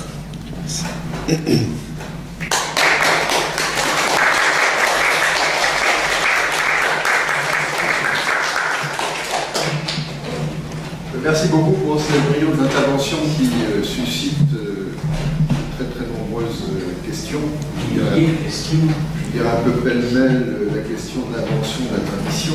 Dans le fond, euh, bien que beaucoup d'entre nous ne soient pas d'accord, c'est le cas avec la théorie Mosbaum, euh, il est difficile d'inventer une, contre-théorie véritablement, véritablement explicite. Il y a la question de la légitimité des systèmes explicatifs histoire, et à travers cette question euh, le problème de la notion de cause. Je disais qu'en même temps que, que Seigneur écrivait son histoire euh, sincère, euh, Bainville, qui d'ailleurs fait justement l'objet également d'une réédition, il a inventé une histoire complètement à la manière des chimistes, mhm. et ceci, et ceci, était la réaction. Donc alors, on est en plein dans des problèmes euh, de causalité. Et puis par derrière, euh, il y a cette question que vous avez soulevée aussi, euh, de savoir si l'historien a le monopole du, système explicatif, ce qui est manifestement pas le cas. Alors, que fait en définitive l'historien? Je trouve, plus ça va, plus je trouve qu'au XIXe siècle, l'école des chartes, à sa manière, a donné une réponse. C'est-à-dire que dans le même temps qu'elle a admis de son implication directe dans le service public, qu'il y avait une histoire engagée à des fins de conservation patrimoniale. De la même manière qu'elle a dit, elle a aussi construit une méthode scientifique d'appréciation de l'histoire qui lui a permis de se libérer de ce, d'une certaine façon, de ce discours, de ce discours instrumentalisé. Par exemple, Kishra euh, est un fou furieux contre Napoléon III au point de ne pas penser que la d'Alésia ait eu lieu effectivement à Nissatrène, mais c'est par ailleurs un, inventeur de sources. Et c'est cette dualité de comportement qui a fait la richesse des au XIXe siècle, me semble-t-il, de l'historien qui s'est senti à la fois engagé et dans le devoir de fabriquer euh, quelque chose d'autre, qui soit propre à ça. Il a, l'historien a constitué une discipline, en quelque sorte. Mhm. Voilà, je laisse la parole à, la salle pour les questions. L'école, l'école des chartes au XIXe siècle n'a pas été exemple de mésusage de, de, l'histoire, puisque... Bien sûr, au contraire, c'est ça qui est intéressant. Justement, le cas, le cas de, le cas de est très intéressant Je me souviens que c'est Arthur de la Borderie, euh, chartiste, qui, a, qui fonde la théorie euh, qu'on a appelée par la suite bretoniste, concernant la théorie un peu délirante sur, euh, sur l'histoire des origines de la Bretagne. Et effectivement, à partir d'exhumations de sources qu'il publie hein, dans la bibliothèque de l'école des chartes, et à partir de, d'exhumation de sources qui, dans un premier temps, sont faites sous, euh, sous l'impulsion de l'équipe d'Augustin Thierry. Mais ne peut-on pas penser que si, nous n'avions pas eu ces historiens engagés au-delà de ce qu'il aurait fallu, nous pas eu, est-ce que nous aurions à nous mettre sous la, dent un discours méta-historique intéressant. Franchement, ils ont été là pour penser à notre place et permettre de par rapport à ce qu'ils ont pensé.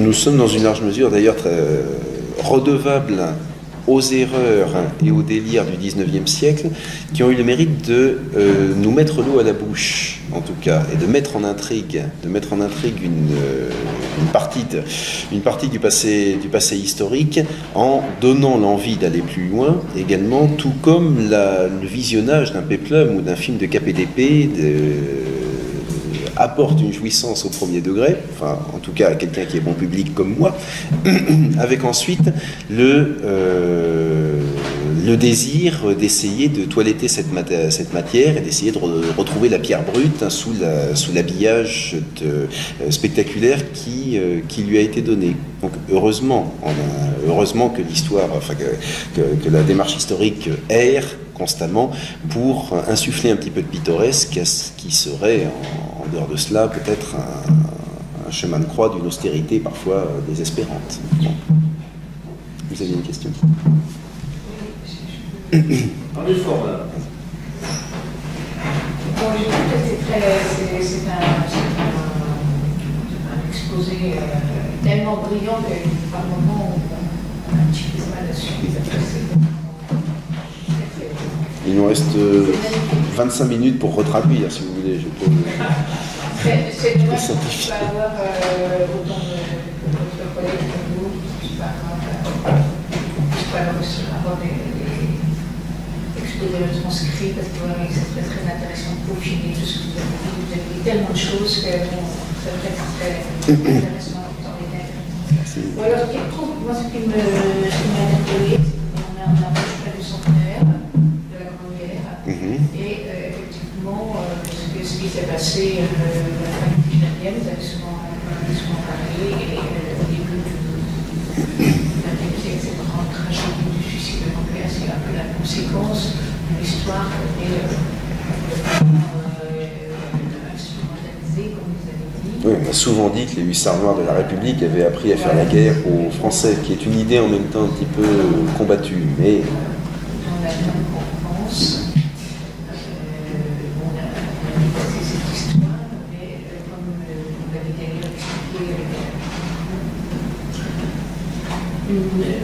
vraiment une très grande, très grande aisance, mais est-ce qu'on euh, n'en est pas un petit peu arrivé à euh, une espèce de nomadisme à l'heure actuelle, puisque bon, les professeurs d'histoire tuer l'histoire, une espèce de. à force de, de vouloir euh, tout comprendre, tout disséquer et, être au cœur de plusieurs théories euh, contradictoires, est-ce qu'on n'a pas un petit peu tué l'histoire un petit peu la question de la C'est une question qui, de toute manière, est régulièrement soulevée depuis 25 ans. Hein, vous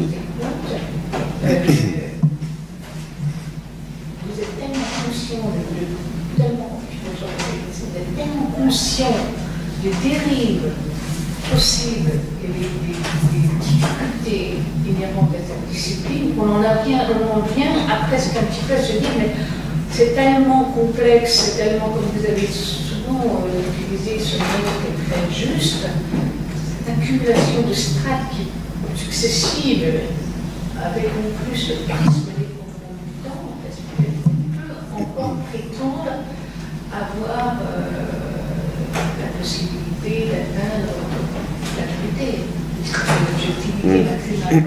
C'est un petit peu tout cela qui fait que vous. Euh, Est-ce que trop de, de, de, de bonnes intentions, et puis aussi un petit peu l'évacuation de l'imaginaire, comme vous l'avez dire, pas finalement à l'encontre de la discipline. C'est. Bon, ah oui, c'est une question tellement ample qu'il il faudrait toute une nuit pour essayer d'y répondre. Je ne suis même pas sûr que j'y arriverai. Ce qu'on peut, peut en retirer, c'est que j'en reviens à cette idée que les historiens se sont peut-être condamnés à l'excellence de, rigueur méthodologique dont ils se sont investis à la fin du, à la fin du 19e siècle et qu'ils ont pris de plein fouet le démenti, le démenti partiel qu'en effet le, gouffre de civilisation de la Grande Guerre leur a, leur a opposé. L'ère du doute, hein, l'ère du soupçon, elle a, elle, elle a, certainement commencé de cette, euh, certainement commencé de cette manière, mais moi, je suis curieux, ce n'est pas, pas, une réponse que je vous apporte là, et là, c'est est frustrante, je suis curieux de savoir comment, dans 20 ans, disons, les, les spécialistes de l'historiographie classeront le temps de l'histoire dans lequel nous sommes euh, dans lequel nous sommes placés. Il y a le temps de l'école des annales, il y a le temps de la nouvelle histoire qui a été bien qui a été bien établie, et peut-être ce que nous nous percevons selon les selon les, les épithètes qu'a attribué François Doss au temps de l'histoire en miettes, par exemple, peut-être ce que nous appelons nous euh, que nous percevons nous comme le, le, le temps de la confusion absolue va retrouver une cohérence dans le regard distancé de, de, la, de la génération suivante. Il est très, bon, très difficile de pouvoir, de, de pouvoir l'affirmer, mais allez savoir. Il y a autre chose que, notamment si je me souviens bien, euh, son, nom m'échappe, l'historien israélien, ancien ambassadeur d'Israël en France, euh, Eli Barnavi, donc, avait bien postulé dans, un, dans une interview, je me souviens qu'il donnait au magazine L'Histoire, en rappelant que le contact avec l'histoire se fait en plusieurs, euh, en plusieurs temps et à plusieurs, à plusieurs échelles la, dans une vie humaine, qu'on commence nécessairement par apprendre qu'il faut commencer par apprendre des généralités qui vont s'avérer, si on est passé du stade de l'amateur à celui du, spécialiste, être des falsifications euh, par nécessité pédagogique. Mais pour autant, la vision simpliste qu'on peut avoir euh, de ce premier apprentissage scolaire, c'est de considérer d'une manière démagogique à mes yeux qu'il y a une force occulte qui essaye de cacher la vérité aux, euh, petits Français euh, petits élèves d'une manière générale à des fins alors justement de, mensonges, patriotiques mais qui finit par se retourner contre les, Français quand on les envoie, à la guerre. Bon. Alors qu'Elie Barnavi, il a plutôt le sentiment qu'il faut faire confiance au public, là aussi. Je, rejoins ce que disait, ce que disait Sylvain Venère hein, sur le effectivement le dédain marqué que j'ai marqué que, j'ai posé envers le grand public et qu'il ne faut pas prendre nécessairement pour une cohorte d'imbéciles. C'est-à-dire les jeunes gens commencent par apprendre des, généralités qui vont ensuite apprendre à déconstruire, c'est-à-dire à complexifier, à complexifier un petit peu plus. Et ici, la, bon, l'appréhension de la méthode, historique va va les y aider.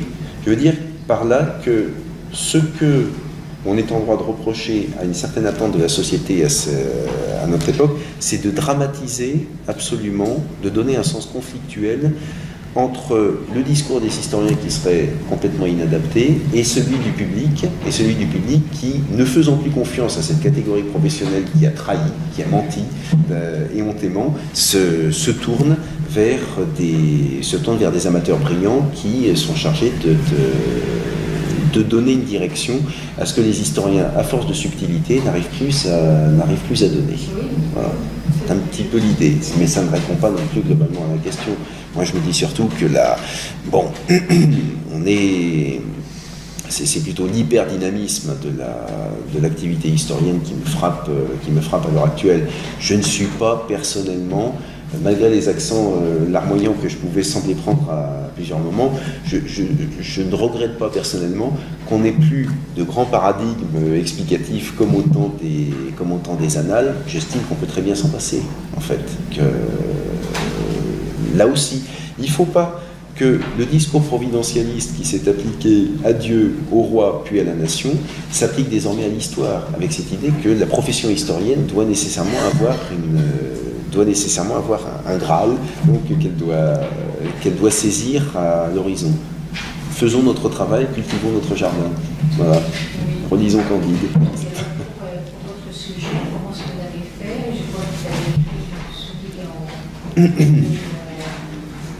Alors Sully est une vieille affaire hein, qui, a, qui, a, été ma thèse d'école des chartes quand j'étais sur ces bancs.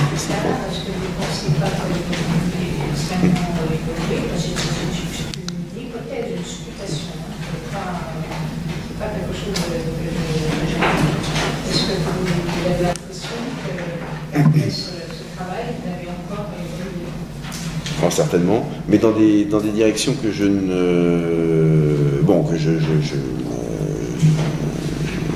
Euh, qui, qui, je l'espère, ne vont pas m'enfermer dans une direction ou dans une, dans une autre. J'ai par exemple un temps, enfin, je suis sur deux chantiers simultanés à l'heure actuelle, celle d'une biographie de Sully, d'un côté, qui est un, pour moi un retour à mes origines, du coup, mais qui sera d'une qui sera d'une facture euh, classique entre, guillemets, à laquelle j'intégrerai le sentiment de la postérité du personnage, euh, tel que je l'avais analysé en soi. Et de l'autre, comme je l'ai dit tout à l'heure, je suis resté un petit peu frustré par euh, mon traitement de la période contemporaine dans, la, dans, Raconter la France. C'est que Sylvain Venère a, relevé comme étant trop euh, exclusivement historiographique. Je vais essayer de me concentrer pour un autre, euh, pour un autre essai sur l'histoire des usages publics de l'histoire depuis plus particulièrement années, 1900, les années 1960. Fait, une sorte de carottage à l'intérieur du sujet global que j'avais que j'avais posé. Mais ce sont des déclarations d'intention dont je ne peux pas encore livrer, vous voyez, la, substance. Hein. Simplement, euh, voilà, réservons-nous toujours un avenir.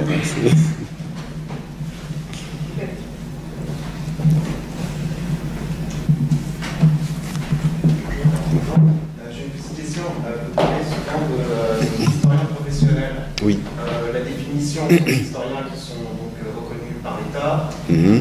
rémunéré par l'État. Donc l'objectivité est un peu euh.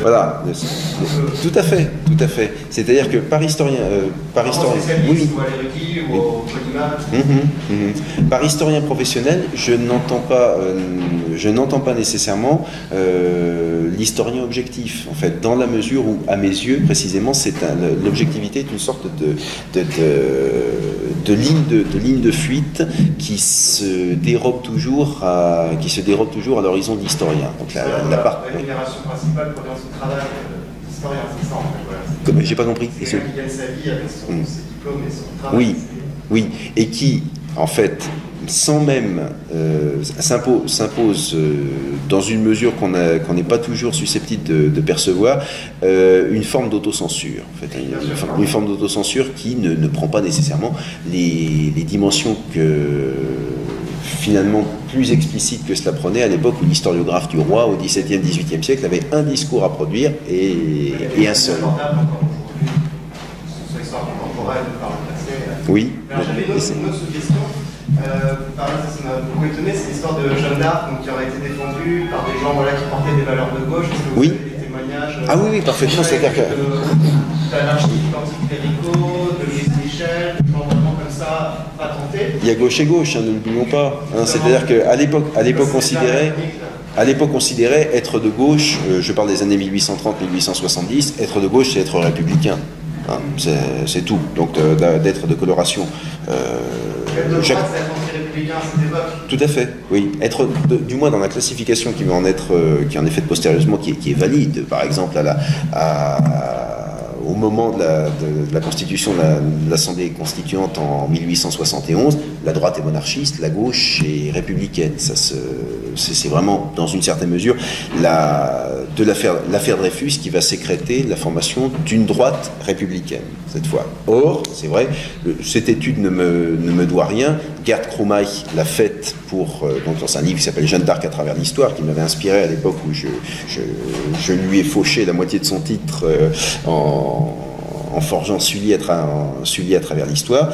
Il, a bien, démontré que pour ces années-là, des personnages dont Kishra est l'ultime euh, avatar, enfin dans le sens positif du, terme, le Jeanne d'Arc se posait comme l'héroïne issue du peuple qui, pour, euh, paraphraser un spectacle grand public d'antan, a été celle qui a dit non celle qui a dit non et qui, dans une, euh, a osé ce que la monarchie frileuse de Charles VII n'avait pas, n'avait pas, réussi à, n'avait pas réussi à accomplir. Et pour cette même raison, elle a été odieusement lâchée par euh, ce roi ingrat qui ne voulait rien devoir à une, euh, à une fille de rien qu'il avait mise en face de ses, de ses responsabilités. Donc, dans cette démarche, Jeanne d'Arc peut figurer aisément comme une héroïne républicaine. Comment? On sait très bien qu'elle avait, pas, avait des origines aisées, qu'elle était une fille de laboureur plus que, plus que confortable, évidemment. Je vous voyez, votre remarque, elle est, elle est pour moi euh, révélatrice aussi, toujours de, ce rapport très, très ambigu dont parlait Sylvain Venère également, à, à ceux qui s'intéressent au discours sur l'histoire, parce que très fréquemment, on a l'impression qu'ils sont dans le, registre du, réalisme subjectif et que on attribue à celui qui parle de, des reconstructions de l'histoire les présupposés qu'il relève seulement vers les gens du, parmi des, militants de, telle ou telle cause dans le passé. C'est ce que Pierre Nora avait relevé aussi. Euh, il a expliqué comment, au fur et à mesure que se déroulait le chantier gigantesque des lieux de, mémoire, hein, la publication s'est étalée de 1984 à, euh, je ne sais plus, à 84 ans, enfin bon, ça a duré en tout cas. Il a expliqué comment, ce qu'il voulait au début, un, un chantier de, déconstruction du roman national, entre guillemets, donc du, discours, euh, du discours officiel à la cohérence illusoire sur le, destin, le destin de la France, le destin historique de la France. Donc, ce qui se voulait une mise à distance par rapport au roman national a fini par être euh, perçu par une partie grandissante du public comme un surinvestissement patriotique et, et nationaliste envers une réhabilitation militante de l'histoire de France à l'ancienne. En fait, je dis ça parce que je sais que la critique m'a été faite également euh, dans un compte rendu où euh, euh, il m'a été reproché de confondre histoire et mémoire, dans une certaine mesure, de, me laisser séduire par la les charmes de l'objet France euh, que je finissais par, euh, par, euh, réhabiliter, enfin, par réhabiliter, par cautionner comme, comme finalité historique. Je n'ai pas ce sentiment, mais allez savoir. On se fait toujours, on toujours trompé, hein. pardon? Charmant la France. Ah, évidemment, mais j'ai pas les bras assez larges pour, l'enlacer comme je le souhaiterais. C'est notre problème à tous. Une petite question pour vous, monsieur du voilà, nous, on, pour vous, euh, on doit lutter contre voilà, Laurent II, des gens comme ça. est-ce que c'est pas leur donner un peu trop d'importance, sachant que c'est un roman, ce qui est écrit sur leur bouquin, ils ne sont pas édités chez des éditeurs de bouquins d'histoire euh, Et bon, lui, on voit bien son attention, c'est qu'il a voulu, faire bon, Citron, euh, Guillaume, voilà, pour des gens comme ça. Est-ce que ce serait pas plutôt à vous de, de, de donner envie à des Laurent Dutch euh, écrire aussi leur euh, histoire euh, d'amateur, mais euh, une autre version Je, je, je- je n'ai pas compris votre question. Vous, vous êtes historien vous-même et Oui. Votre Jusqu'ici. c'est lutter contre quelqu'un qui n'est pas historien, c'est lui faire trop d'importance. Lui, il n'est pas à ce niveau-là. Les seules personnes qui peuvent se battre, se battre contre lui, si toutefois il fallait se battre lui, ce serait de, des, des gens qui ne sont pas historiens, d'autres d'autres Laurent Judge, des comédiens, qui eux-mêmes écrira leur propre, leur propre roman national. Mais euh, j'ai pas, je ne crois pas avoir dit qu'il fallait lutter contre euh, Laurent Deuil. Ça, ça a plutôt été ma. Je, je- je- Ça a été plutôt ma tendance, hein, je crois. En Je effet, pense qu'il a- pas senti indicatif. ce, que, ce que je, ce, que je, ce que je dis, c'est que les historiens devraient se poser des questions plutôt que de se lamenter sur le fait que les ouvrages d'histoire aujourd'hui tirent difficilement à plus de 2000 exemplaires et tous ne sont pas vendus. Ils se, devraient constater que, euh, certes, il y a malgré tout un appétit d'histoire dans la société française. C'est comparable à la même chose, c'est niche comme une autre. C'est-à-dire, euh, vous allez avoir des émissions à la télévision sur le tatouage. Bon, la personne s'intéresse réellement au tatouage ne va pas regarder ce genre d'émission, ne va pas lire un ouvrage de- du réalisateur. C'est une niche comme une autre histoire de France. Mais je voudrais poser une question, euh, peut-être de façon un peu provocatrice, mais simple. Je pensais, en vous entendant, à, à- à- Michaud, le philosophe, c'est non pas sur l'art contemporain, mais sur ceux qui s'en occupent. Et je me demandais si, d'une certaine façon, pour l'un comme pour l'autre, euh, l'historiographie, c'était pas euh, non pas sur l'histoire, mais sur ceux qui s'en occupent. Oui, incontestablement. Donc, quelque chose d'un peu catégoriel. Mhm. Ah bah, de fait, de fait, euh, parce que tout à l'heure ce que disait euh, Laurent était, était- était juste. Dans, dans- dans le cas de son livre et dans le cas du mien, le propos est assez précisément centré sur les historiens euh, professionnels, disons. hein, ça, c'est- Les autres, voilà. Or, comme euh, les autres, et puis euh, effectivement, il se trouve que les historiens n'ont pas et ne peuvent pas avoir, et mais il serait même, il est probablement pas souhaitable qu'ils aient le monopole du discours sur l'histoire.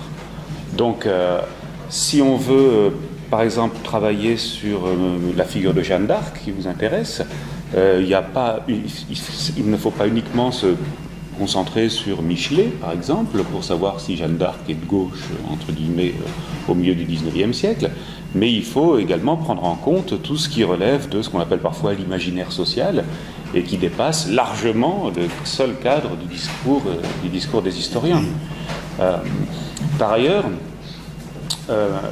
c'était une réponse que je voulais vous, faire, mais je vous fais aussi.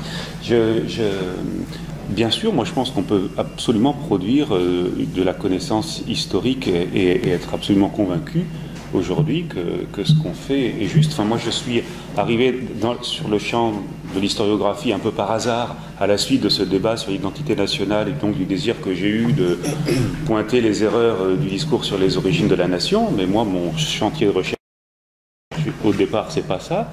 J'ai écrit un, gros livre sur l'histoire du voyage au 19e siècle, dans lequel je prétends que tout ce que je dis est vrai. et, que, si je le prétends, c'est parce que je suis un historien professionnel qui donne mes sources, qui explique ma méthodologie et qui euh, donne le moyen à tout euh, lecteur informé de contester mes résultats. La science étant, comme chacun le sait, euh, ce qui donne à ses adversaires le moyen de sa propre réfutation.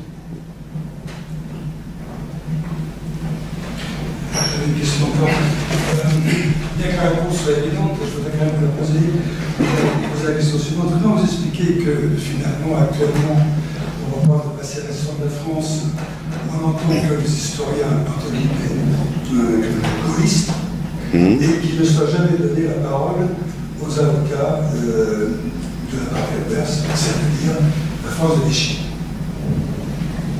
On n'entend pas actuellement dans aucun média les avocats de la France de, de Vichy. On n'entend que la version de la France des 75 années. On pourrait être anti sans être. Je n'ai pas d'explication à fournir, si ce n'est qu'à titre personnel, euh, et c'est ma part de subjectivité, je ne puis que me féliciter que ces historiens ne prennent pas la parole dans le débat public. Euh, Mais ça n'est que mon point de vue. Mais ne pensez-vous pas, même si vous êtes euh, de cette conviction-là, euh, il serait quand même fermé de temps en temps, que ce soit à la télévision euh, ou ailleurs, de donner la, parole sur un contre-discours du, de l'histoire un peu mythique de la France de ces 70 dernières années Bon, je ne suis, enfin, je ne suis pas compétent à titre personnel pour savoir s'il y a complot ici des médias ou des pouvoirs publics pour euh, réduire au silence ces, ces historiens qui ont leur, euh, qui ont leur vérité à délivrer. Mais là, j'avoue que j'ai- je ne peux pas m'exprimer sur la question au-delà de cette, euh, ah, bon, de, de ce qui est mon, mon intime empathie, voilà, mon intime conviction, et euh, d'autre part. de- voilà, mon, mon incapacité à dire s'il y a, s'il y a vraiment une omerta euh, C'est- concertée. C'est simplement ça. non Vous ne pouvez pas écouter une émission sur ce qui s'est passé durant la guerre sans que soit donnée euh, une seule version de la chose. Si vous prenez un, un professeur à Sorbonne, je crois, qui a justement une approche beaucoup plus mesurée de la chose, Georges Dreyfus. euh, François Georges Dreyfus. Georges Dreyfus. Je ne l'ai jamais dans les médias, alors qu'il a donné une, une écriture beaucoup plus mesurée de l'histoire de Vichy que euh, celle qu'on a l'habitude d'entendre à la On en a entendu parler quand son, son histoire de Vichy lui a, sus- lui a suscité une affaire pénale avec Pascal Horry pour euh, plagiat. Mais c'était une autre, euh, c'était un autre temps, en effet. C'est la dernière fois que j'ai entendu parler, en effet, de François-Georges Dreyfus dans son, enfin pour cette, euh, pour cette prise de position. Voilà, je, je n'en sais pas plus sur cette euh, question. J'aurais une question concernant l'écriture historienne. Oui. Qu'elle balance entre euh, le, le narratif, d'ailleurs Hum raconté, Raconter. hein, et euh, l'herméneutique, au sens de Joseph. hum. Et on se dit, de toute façon, de manière un peu diffuse, que le narratif, par rapport au public, c'est infiniment porteur. Au fond, on reproche aux historiens qui ne sont pas des professionnels de séduire outrancièrement les lecteurs par des artifices de narration. Ce n'est que des romans historiques. Alors comment, l'un et l'autre, voyez-vous la question euh, lorsque vous vous mettez à écrire? Moi, enfin bon, je- allez-y, à commencer si vous voulez. Euh,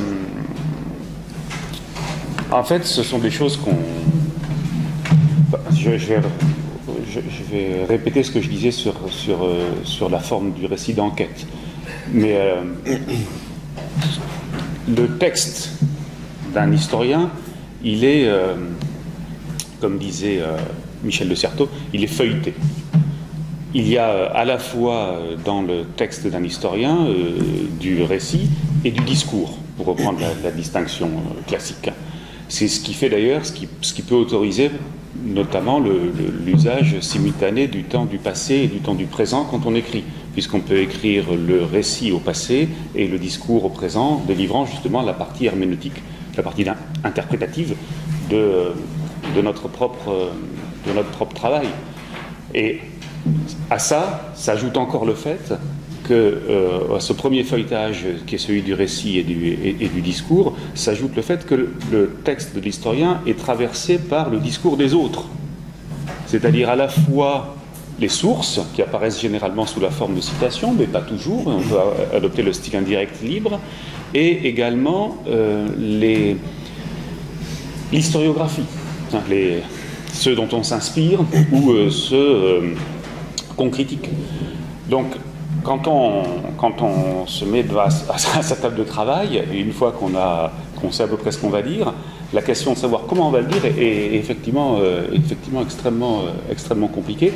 Ça, il y a deux solutions. Soit, enfin, quand on, est, quand on est bien conscient de ces problèmes, hein, il y a deux solutions. Soit, effectivement, on peut trouver que c'est trop compliqué et donc partir vers d'autres voies en se disant qu'on va séduire davantage le public, par exemple avec le, récit, euh, le pur récit, qui, qui, court le risque de, devenir du roman. Et euh, l'autre solution, c'est peut-être justement d'essayer de tirer parti de cette richesse imposée à l'écriture euh, historienne, encore une fois, en essayant d'innover, disons, d'inventer, euh, d'inventer des formes. Je pense que c'est un, aujourd'hui plutôt, plutôt un pari assez, assez intéressant. Moi, je perçois. Disons qu'en tout cas, ce qui est sûr, c'est qu'il faut être bien conscient euh, de, des enjeux qui sont posés euh, spécifiquement euh, à l'écriture des historiens. Des historiens qui sont des professionnels de, l'histoire, c'est-à-dire pas forcément des gens qui sont salariés par l'État, hein, mais des gens qui appartiennent à une communauté professionnelle, une communauté professionnelle qui est soudée par un certain nombre de règles de reconnaissance qui permettent de penser que quand un texte émane de cette communauté, il est sans doute plus près de ce que j'aime pas trop appeler moi la vérité historique, hein, mais la réalité euh, que, que les autres discours sur l'histoire. À titre personnel, je, enfin, je suis euh, très attaché à la ligne narrative dans l'écriture euh, historique, sans pour autant que ça me donne le sentiment de, me, de basculer du côté du, du côté du roman historique, parce que c'est à peu près ce que Sylvain Venère a dit sous une autre forme. La matière historique, pour moi, c'est réellement un bruissement de paroles croisées, en fait, qui que nous sommes tenus d'essayer de coucher par écrit en lui rendant une cohérence qui peut sembler factice de l'extérieur, normalement est, euh, étayée par une question centrale, donc la question de savoir si l'écriture de l'histoire est une, est une quête d'identitaire constamment euh, renouvelée, dans mon cas, par, euh, au, cours de, au cours des 15 siècles d'écriture, mais il faut, d'une manière ou d'une autre, essayer d'appliquer à l'écriture historique ce que Paul Ricoeur avait très bien relevé dans, Temps et Récit, en fait, quand il a montré, par une analyse vraiment très convaincante de la, de la Méditerranée à l'époque de Philippe II de, de, Fernand Braudel, que le pape de la Nouvelle Histoire, qui appartenait à un courant euh, prétendant évacuer le récit, les personnages et la mise en intrigue du propos, faisait néanmoins un récit dont le personnage central était une mer, où il y avait des figurants qui étaient les montagnes, des, des au fond de la Seine qui, euh, qui étaient les, armées parcourant les, différents rivages de la Méditerranée. Il réinventait, il réinventait une narration dont euh, les protagonistes étaient les objets historiques qu'il avait choisis comme, euh, comme signifiants. Mais en tout cas, il faut à mes yeux que l'écriture d'un historien de profession euh, soit généreuse, soit généreuse et euh, soit attentive au public même euh, supposé confidentiel qui, est censé s'intéresser à son, à, son propos. Ça peut faire basculer dans le lyrisme, ça m'a pris à certains moments, mais j'essaie de me soigner parce que c'est pas non plus être excessif dans ce domaine. Encore une dernière question. il y a quelque chose qui me surprend un petit peu. Euh, quand on sort euh, du milieu professionnel, écrivez avec sa quête de la vérité, la photographie, vous tenez compte tout de même du public, vous venez encore dans mm Et je m'étonne un petit peu, comme vous m'ayez donné dans votre présentation, place à ceux qui forment ce grand public, qui est quand même avant tout l'école. Oui. Or, qu'il y a, et ce n'est pas de la paranoïa et la théorie du complot, il y a objectivement euh, une responsabilité des historiens, du moins ceux, de ceux qui, non de tous, parce qu'ils peuvent protester contre certains manuels, il y a eu tellement, non pas tel, je ne pense même pas aux falsifications qui seraient des déformations, mais aux coupes tout simplement, aux omissions qu'il y a dans le but, et même le XXe siècle, dans tant de livres d'histoire, de l'école publique, Hmm. comment expliquez-vous, situez-vous la responsabilité des historiens dans le fait qu'on puisse donner à des enfants d'âge ouvert des récits historiques, avant même des débats sur quoi euh, on manque totalement certains éléments importants et réels de l'histoire de France. Vous voulez parler ici de, de- enfin, de- comment dire, de, de l'évacuation de la trame chronologique, par exemple, dont on, dont, dont parle tant aussi. Mhm. J'ai eu, euh, j'ai eu un livre de classe euh, quand j'étais euh, secondaire où euh, la commune de Paris n'existait pas. Mhm. À l'époque, c'était chronologique. hein, Mhm. Aujourd'hui, c'est encore. Mais euh, bon, il suffit de penser à la colonisation, à la traite, à des choses comme ça, totalement inconnues du public euh, il y a encore quelques années à, l'école. Alors après, évidemment, donc à lire euh, les grands historiens. mais-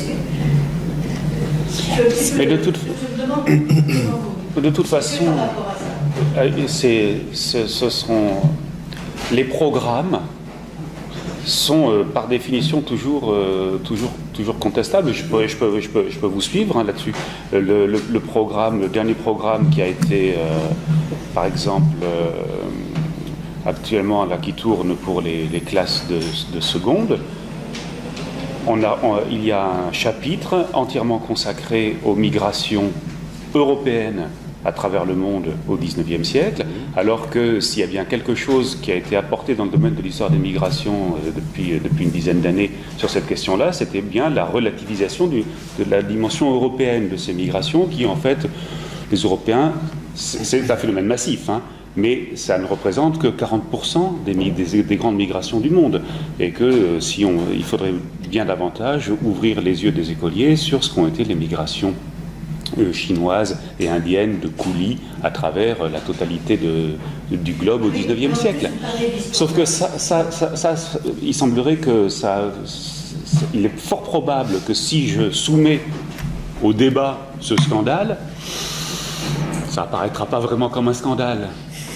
Donc, euh, je pense que les, programmes, par nature, sont mal faits. C'est pas, pas du tout bien. Vous prenez un exemple euh, douceur, c'est quand même différent du problème de la colonisation, de la traite des Africains euh, et de la France. Mais la, la- traite, la traite, Tellement, la traite des esclaves, la traite des esclaves est, est, euh, je- il se trouve que moi en fait je viens de finir l'écriture de- d'un d'un chapitre d'un manuel de seconde euh, sur les oui, les enfants sur les sur, les dix programme. doubles pages il y en avait deux qui concernaient la traite des esclaves. Voilà, en fait, cette dernière conversation nous prouve une fois de plus que l'historien n'a pas le temps de tout dire, et nous non plus d'ailleurs. Merci à nos deux. Merci à vous tous.